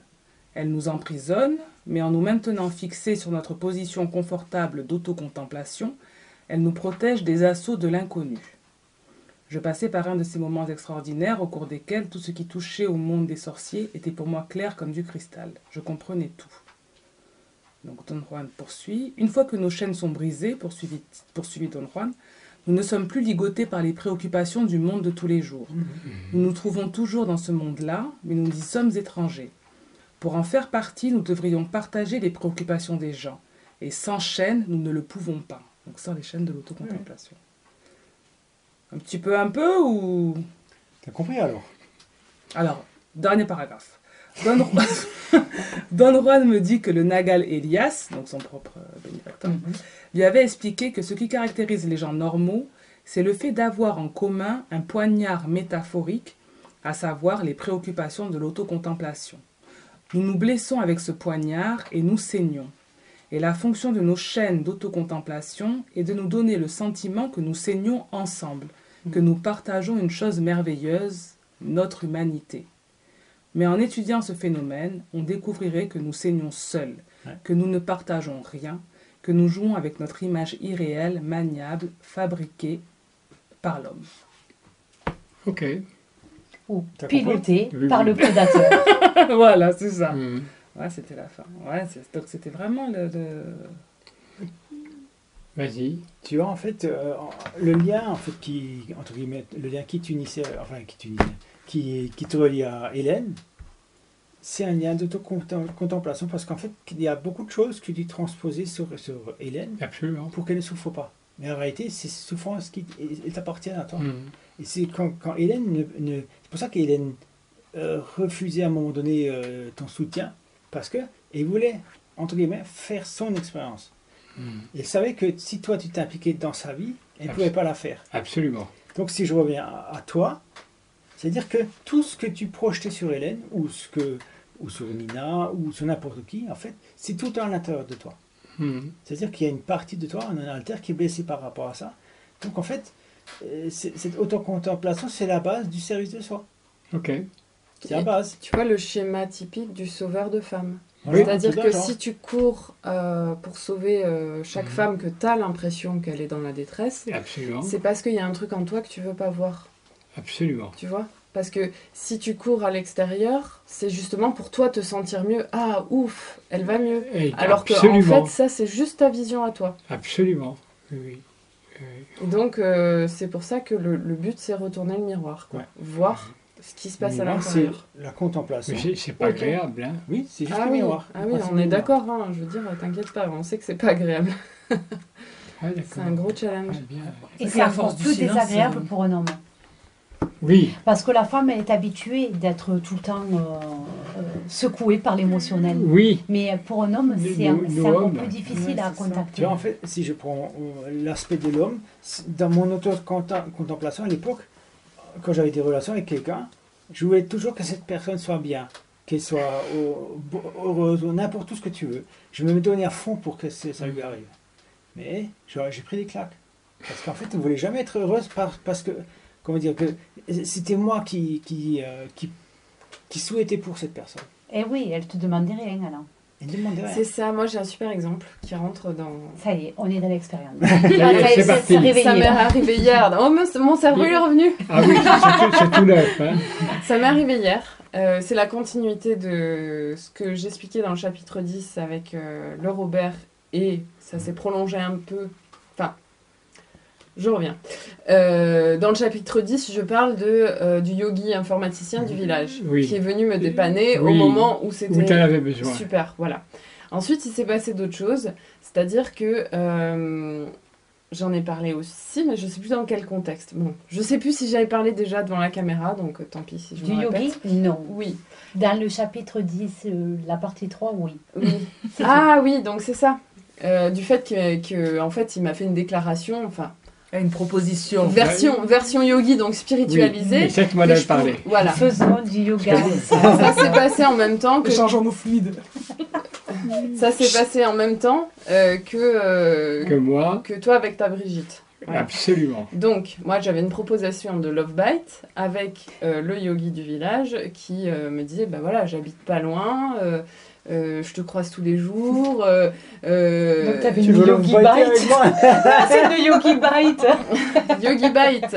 Et donc, ce qui est intéressant, c'est que euh, dans ce que moi, je... Comment, dans quel état d'esprit j'étais quelques années auparavant, me Mm. faire initier sexuellement par quelqu'un qui maîtrise tous les canaux d'énergie dans son corps et qui, euh, qui va loin dans, dans, dans le, le- comment dire dans la Ah, conscience oui. qui, qui traverse euh, son corps euh, bah ça aurait été une aubaine pour moi voilà c'était euh, quelque chose que je recherchais en fait. Bon, là, il se trouve que, ayant connu le monde de. ayant pris conscience et vécu euh, le monde de la prédation, ben, je voyais bien son prédateur arriver, avec lui aussi qui vivait euh, une séparation et, euh, et sa, sa traversée du désert à lui. Euh, qu'effectivement, on est tous les deux dans notre grotte en fait, parce qu'on est les deux du village, on va dire, qui avons ce rythme euh, intériorisé. Mhm. Donc lui, il fait énormément d'heures de pratique, euh, de méditation, euh, tout ça. Et moi, je suis sur mon travail, énormément d'heures devant l'ordi, à aussi faire plein de. Voilà. Et en fait, il voyait bien ce lien, euh, que voilà. Donc en gros, il me proposait, bah, effectivement, d'avoir un échange euh, En fait, il tâtait le terrain, il me proposait Merci. pas, mais Oui. savoir si moi j'aurais dit ok, euh, lui il était Oui. partant, c'était clair. quoi. Voilà. T'étais chaude ou pas quoi Voilà, c'est ça.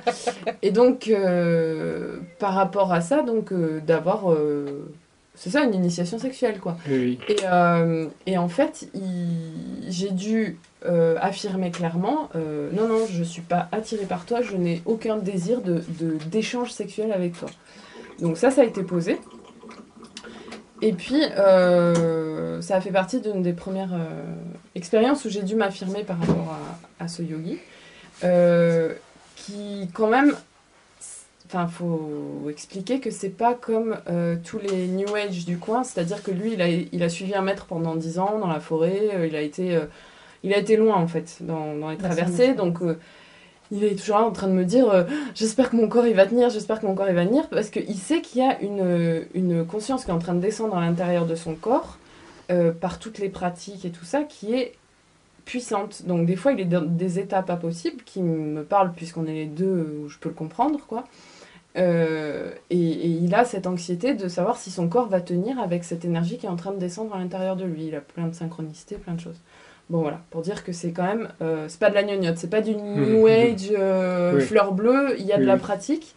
Mais du coup, moi, ce que ça m'a permis de voir, c'est qu'il y a la pratique qui relie à la polarité SDS, même si c'est des branches de yogi qui remontent à des siècles et des siècles de son Mm. maître et tout ça. Euh, en fait, après, peu importe, c'est la manière dont on le pratique, c'est-à-dire qu'une personne qui pratique différemment, peut-être, peut arriver à cette polarité Mm. SDA, mais lui, il est... En fait, c'est simple, c'est que moi, je sens son prédateur dès qu'il me parle du yoga. Là, il y a son prédateur qui est là et je peux plus du tout l'écouter. La... dès qu'il me parle de la pratique, il s'anime, des grands gestes, il est très... euh, D'un coup, c'est quelqu'un d'autre, donc je sais, c'est son alter Yogi, yogi. Et en fait, c'est là où c'est son prédateur qui prend le plus de puissance. Vraiment quelque chose de très très très fort. Et je sais que son chemin, c'est un chemin d'initié, mais initié SDS. Voilà. Et donc, euh, il est venu. euh, Hier. Alors, c'est hier que ça s'est démêlé, mais c'était avant. euh, avant-hier, voilà. Euh, il est venu et puis, euh, ouais, je passe te faire un coucou. euh, bon, ok, je connais son genre d'intrusion, voilà. Euh, parce qu'il a besoin de parler simplement, parce qu'il est seul et il a besoin de prendre de l'énergie. quoi. Et euh, donc tant qu'il y a un échange, ok ça va. Quand c'est pas le moment pour moi, ben, je suis assez froide et, il comprend. Il y a un moment, voilà. Sauf que là, euh, il était parti sur euh, oui bah là je suis en train d'expérimenter sans sel, sans épices parce qu'il était en Guadeloupe, qu'il a il a beaucoup euh, mangé très épicé donc il observe ce qui se passe dans sa digestion aussi. Donc il me parlait de ça pour en arriver au fur et à mesure, très insidieusement, à me faire une espèce de leçon, mais pas très claire, sur le fait que, euh, oui, mais tu comprends, euh, moi j'ai traversé euh, des grandes étapes dans ma vie qui font que, bah là, je... Peu importe comment je vis, je peux vivre dans une maison et la tenir très, propre, je peux vivre dans une maison sale et du coup me sentir aussi très bien, je peux m'habiller super clean ou je peux m'habiller comme ça avec là il a toujours des tongs toutes défractes des, des habits déchirés. Enfin sa maison c'est ouais une grotte quoi. Il y, a- presque rien ou des chaises en plastique et puis c'est tout. Et, euh, et je sais qu'il réagissait par rapport à mon côté qui se voit de l'extérieur où je tiens une maison qui est clean euh, où euh, j'ai un rythme alimentaire, il arrive, je suis en train de me faire des petits plats ou quoi, Ouais, euh, où je m'habille, j'aime bien m'habiller, me faire plaisir en mettant des jolis habits. Et lui, ce qui s'est passé, c'est mon rythme de vie d'avant, qui était l'opposé inverse. Et donc, euh, il, voit ça de moi, et du, coup, il me dit, oui, tu sais, euh, en fait, euh, je suis pas... en fonction de ce que je traverse, je m'adapte à toutes les situations. Donc en fait, je te dis ça parce que moi j'ai vécu ça. Quelque part, le prédateur il disait, tu vois, si tu as besoin de moi, de mes conseils et de mon expérience, je peux te dire comment vivre, quoi, en gros. Voilà.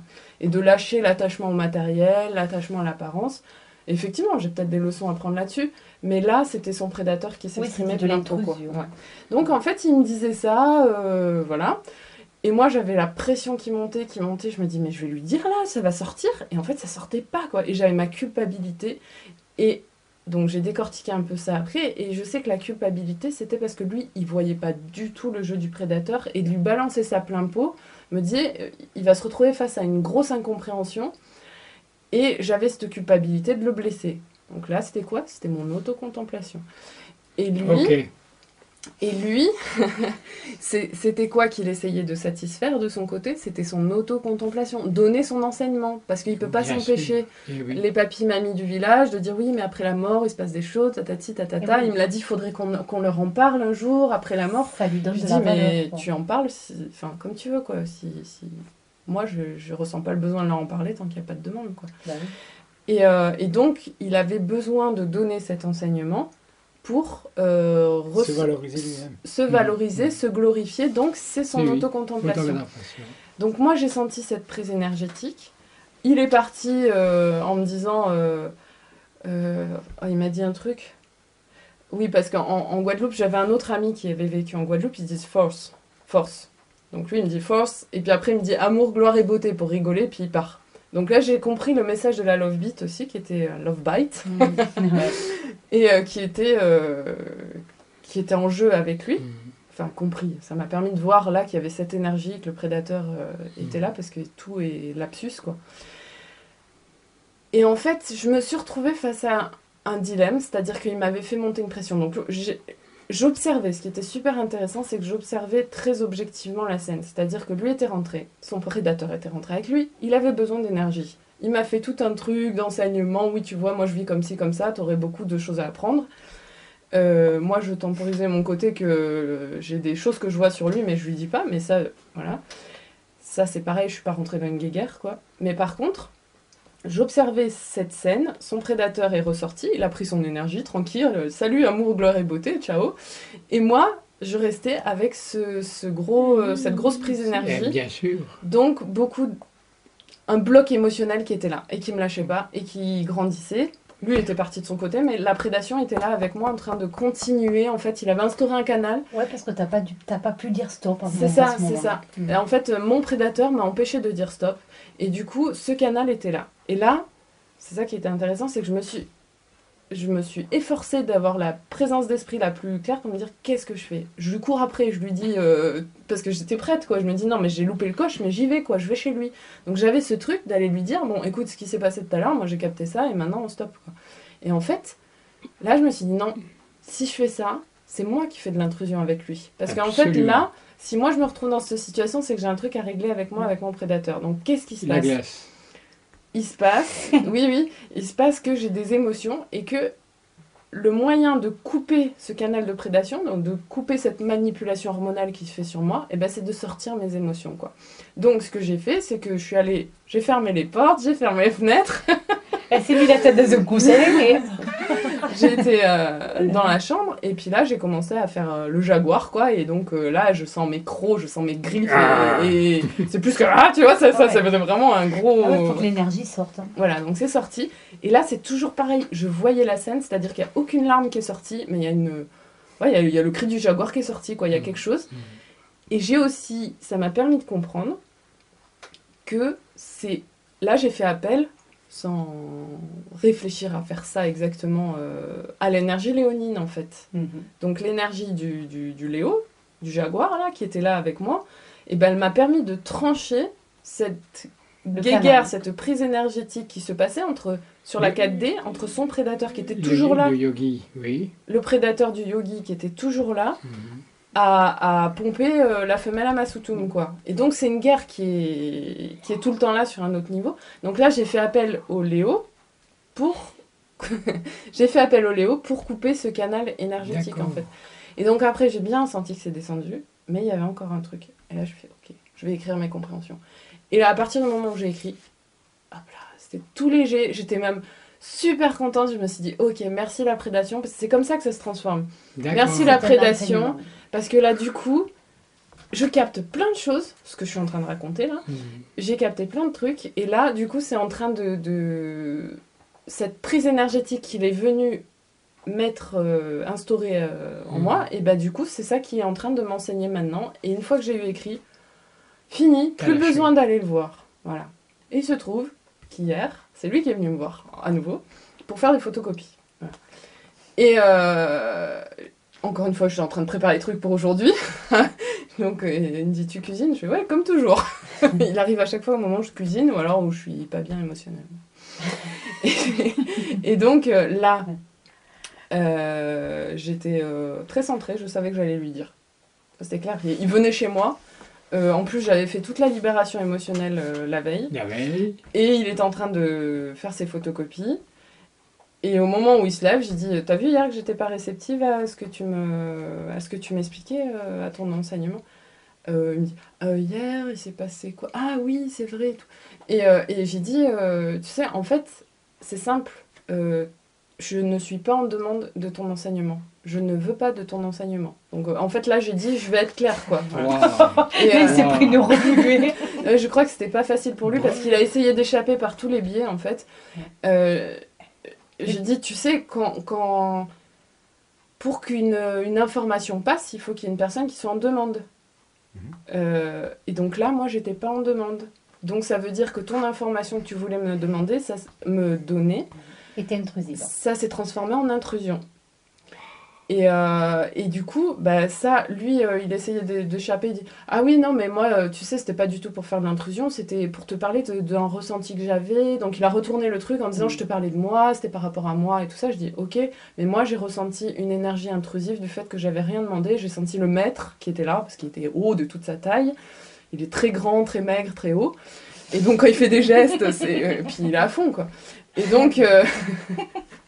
c'est enfin bon c'est un phénomène en fait hein, parce qu'il a quand même le, le- le- son alter enfant qui est très présent en fait euh, il est dans la rue il voit un chat il fait oh mimine et tout il a fond puis après d'un coup il me voit arriver de loin puis hop il se cache derrière un buisson puis il fait ah comme ça tu vois c'est vraiment euh, avec Oui, à côté son côté alter, ouais. ah ouais, ouais, ouais. Donc il a un côté genre, oui, super bon vivant, qui profite de la vie tout le temps et tout. Genre, pourquoi toi tu te prends la tête?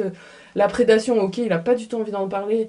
Et il me dit, bah, il suffit de pas donner d'énergie à ce truc-là et tu te connectes direct à la source. Ben voilà. Ok, voilà, non, ça c'est la formule New Age. Hein. Ça c'est la formule New Age. absolument.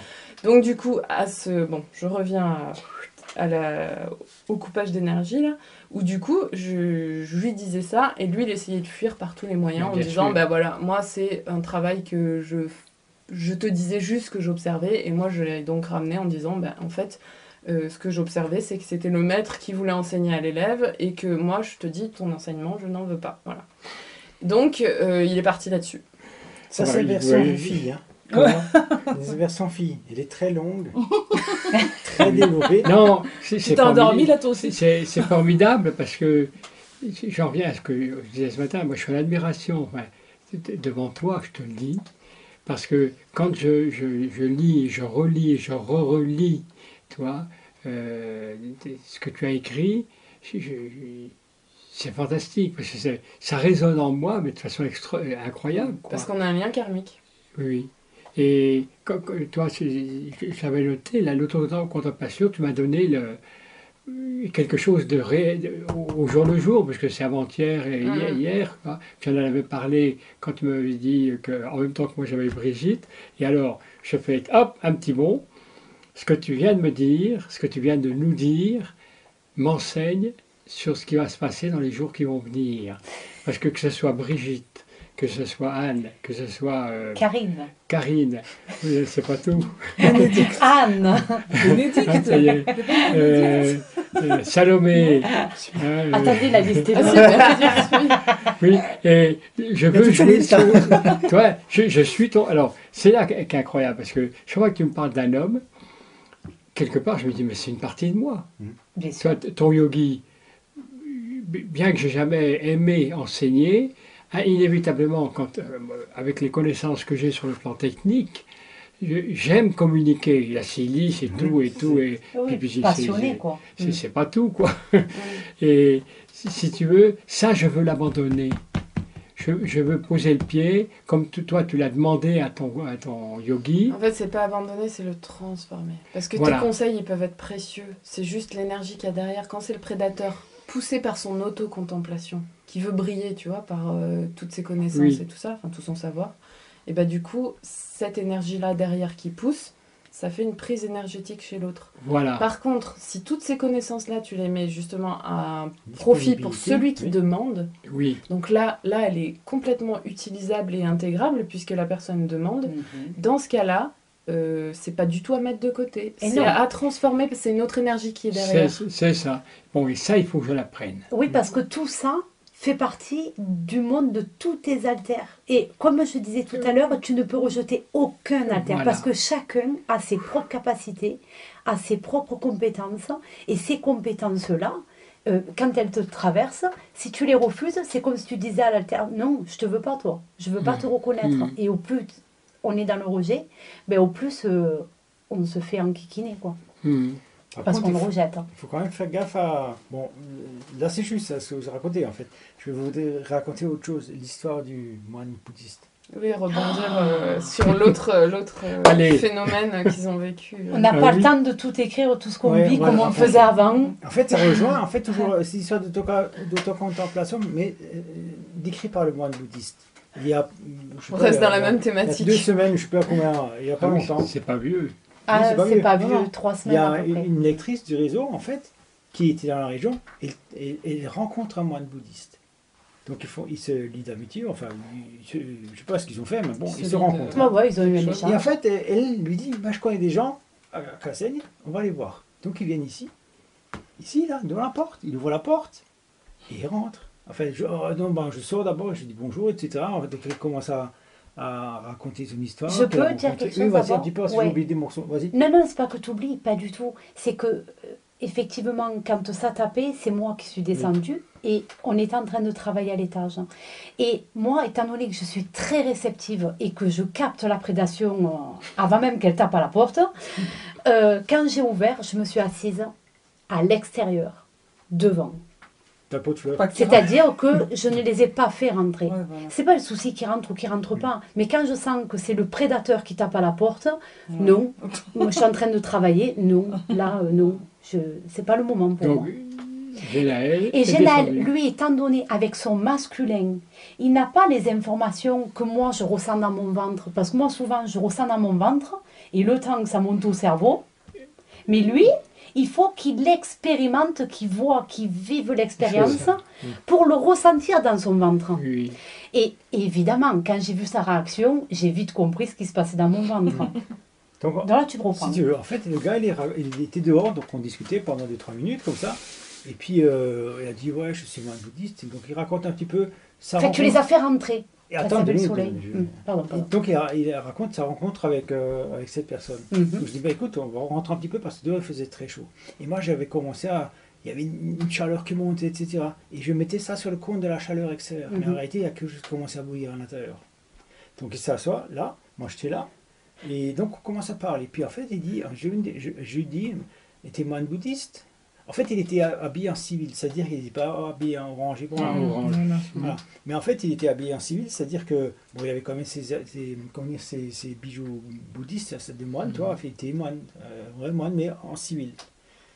Et en fait, il dit, bah, moi, j'ai un don de guérison, je suis depuis toujours connecté à, ma, à, la, à, ma source, à mon soi supérieur, Mm. à la source. Je suis euh, un émissaire de la source. Je fais comme Emma, je je prends fais- les gens je dans mes bras. En fait, je fais des darshan. Donc, il fait des darshan dans la région, etc. Il embrasse les gens. Donc, il y a des gens qui vont le voir pour l'embrasser. Il, il, a le- il a la capacité de guérison. De guérison, pardon. En fait, il guérit Donc, des je gens. ne doute point. Hein. Oui, oui, il guérit des gens, il, Il guérit, des des femmes, gens. il guérit plein de gens. Tu comprends? Travailler pour le CNRS aussi. Et, en fait, soi-disant, il travaillait pour le CNRS qui étudiait ses, qui étudiait ses dons. Tu comprends? Mais moi, je ne dis pas lui que je voyais. Je voyais son prédateur Et oui. lui. Et lui, lui a ça dit. commençait, ça commençait à monter et le, et le fait qu'il qu'il étale toute son autocontemplation, de dire je suis celui-là, je suis fait, je fais ça, j'ai cette capacité, etc. Je voyais, que- je voyais que ça gonflait. Donc son prédateur derrière, il devenait énorme. Et moi, Ah oui, oui, dit- ah non, mais fallait là, le voir. là, je D'habitude, c'est moi, puis c'est lui. la colère, je me dis, mais que, et je lui dis, c'est un moine bouddhiste, tu te fous de ma gueule. tu vois. Putain, à deux minutes, il est dehors. Je l'ai foutu dehors. Le moine bouddhiste, tu vois, Bravo, dehors. Parce qu'en fait, j'ai compris. Lui, En fait, tu lui as dit clairement, tu lui as dit, déjà, moi, rien qu'à t'entendre parler, jamais de la vie, je me laisserai enlacer Voilà. par quelqu'un qui veut uniquement me soutirer mon énergie. Parce que c'est de ça dont ton prédateur se nourrit. On ne sait pas s'il a la notion du prédateur ou C'est pas. ce que j'ai perçu avec Ama. Voilà. Ben, c'est exactement ça. Et donc, on lui disait que là, la personne qui parle et les capacités qu'il habite et avec lesquelles euh, il, il exerce chez les uns et chez les autres, c'est uniquement Pour son prédateur Qui lui donne les capacités pour pouvoir amasser un maximum C'est d'énergie. Il faut bien comprendre, son prédateur lui donne la magie noire, il donne le don de C'est ça, guérison c'est pour ça. que lui, C'est ça. Voilà. Et donc. Genaël a expliqué ça et lui il disait tout à fait. On voyait C'est euh, vrai. la communication bienveillante. Ah oui. Il était Tout d'accord à fait. non, non, non, Non, il, non. il- Pas il de- était, il pas d'accord. Non, non. Sa communication bienveillante fait que tous les gens sont d'accord parce qu'ils ne veulent pas rentrer dans la, la confrontation. Ils, s- ils- quand ils s'interdisent de se confronter à quelqu'un. Voilà. Donc, il était, il était pas d'accord avec ce qu'il disait, mais Ils disaient que il disait pas, mais non, euh, d'accord, d'accord, d'accord. il se mettait pas en opposition. Donc, Parce qu'il était bouddhiste. Il était cultivait l'amour. L'amour, la lumière. c'est exactement ça. Et donc, Genaël lui dit, écoute bien, là, je suis pas en train de parler à toi, je suis en train de parler à ton prédateur. Donc, soit tu acceptes de voir ton prédateur, et là, dans ces cas-là, on accepte parle. de- de- d'avoir une conversation euh, qui nous élève ensemble, soit ton prédateur, il reste dominant, et dans ces cas-là, Dehors. dehors. Il est parti. Ouais, Dehors. Il est parti. Euh, il a dit tout à Bon. fait. Non, non, non, il a dit tout à fait, tout à fait. Et là, à un moment, quand il est resté dans un. C'était vraiment de la, de la suffisance. L'arrogance. Ah oui, c'était de l'arrogance du prédateur qui habitait cette personne. Parce qu'on n'a rien contre cette personne. On parle au prédateur qui habite cette personne. Mais tant que cette personne ne veut pas voir Son prédateur. son prédateur, ben non, Euh, elle reste, euh, elle croit qu'elle est maître de la situation et que c'est nous qui délirons, Et quoi. t'as vu à quel point c'est difficile de faire la distinction entre Oui. le prédateur et à l'intérieur Et oui. de soi. Tellement et on est puis- identifié. Et puis, le pire, c'est que vu ses capacités, qui peut guérir les gens qui sont malades. Non, il a les preuves. Hmm. C'est comme c'est l'histoire qu'on avait parlé d'Hitler. La voix qu'il entendait, qui lui a sauvé la vie plusieurs fois. Mais cette voix-là, qui était cette voix? Était-ce une voix SDS ou était-ce une voix SDA Et quand euh, on voit que finalement on se sort de certaines situations, et lui en l'occurrence, ben, il soigne des gens, donc il fait du bien, il apporte de l'amour, du bien-être, les gens Mm. ils sont en vénération, Mm. pourquoi il va se remettre en question? Bah, c'est clair. Hmm? Parce que deux ulures Pour lui disent tu sors il de est chez dans la moi. Ben oui. Donc, Mais- à ce moment-là, pardon, je termine juste ça. Non. Il a insisté dans une sorte d'arrogance maquillée, euh, genre je suis dans la bienveillance. Alors moi, c'est vraiment le truc que j'avais envie de vomir. La Genaël, il s'est levé, il a dit dehors. Oui. Et après, il se retourne quand même, il dit je, je te, je te, enfin, je te, Ah oui, je non, te non, il a dit je te bénis. Je te dit, bénis, je dis, j'en veux pas de ta bénédiction. J'en veux pas de ta bénédiction, dehors. Sept minutes ça a duré. Alors, et celle qui l'a amenée, elle était comment? Euh, très mal. très mal, parce que le problème, c'est Elle qu'elle était là, elle nous hein. disait, Oui. mais, mais je lui dis, je lui dis, elle ne se rendait pas compte Ouais. que euh, moi, quand je sens quelqu'un qui n'est pas aligné, je passe pas de temps, quoi. J'ai pas, mon énergie, elle est vitale. Ça. Elle est vitale, elle est pour ma propre survie. Mm.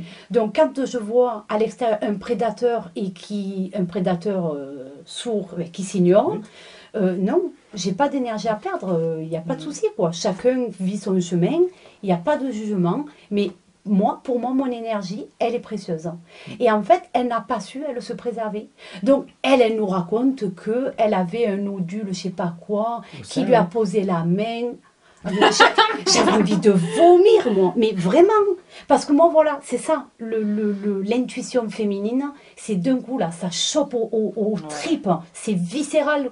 D'un coup, j'ai envie de vomir. Et là, je sais à qui j'ai affaire. hein. Hmm, Et moi, là, on lui a dit, mais tu t'es fait toucher Moi, c'est un choc, je, je, je comprends même pas. Moi qui me suis auto-guérie euh, de, de douleurs, où je pleurais à n'importe quelle heure de la nuit, je souffrais, je refusais d'aller voir le médecin. Et je me disais, mais je suis capable de me guérir, parce que je savais que j'étais capable de me guérir. Et je suis arrivée. Merci et je suis parvenue. Donc quand elle, elle dit qu'elle s'est fait toucher par quelqu'un d'autre, qu'elle connaît même pas, juste pour se faire guérir, ça veut dire que elle, elle-même, son- elle remet- remet son pouvoir à autrui et qu'elle elle est, elle est en manque de, de, de respect envers elle-même. Hmm. Ça veut dire qu'elle elle s'estime pour zéro, quoi. C'est comme si elle se dénigrait complètement et qu'elle elle reniait cette capacité d'auto-guérison Oui. qui est en chacun. Ok, mais ça demande un niveau de conscience un petit peu développé quand même. hein. Oui. On est d'accord. Et Si on travaille Ça demande de l'application. Alors, je ne sais pas ce qu'elle a appliqué après ça. Moi, je viens un choc comme ça. Je peux te dire que sortie de la porte, je me, je me pose mille questions. Mais hein. elle suit le- Oui, les, les travaux de, Oui. du groupe. Ah oui. Enfin, et- et- et-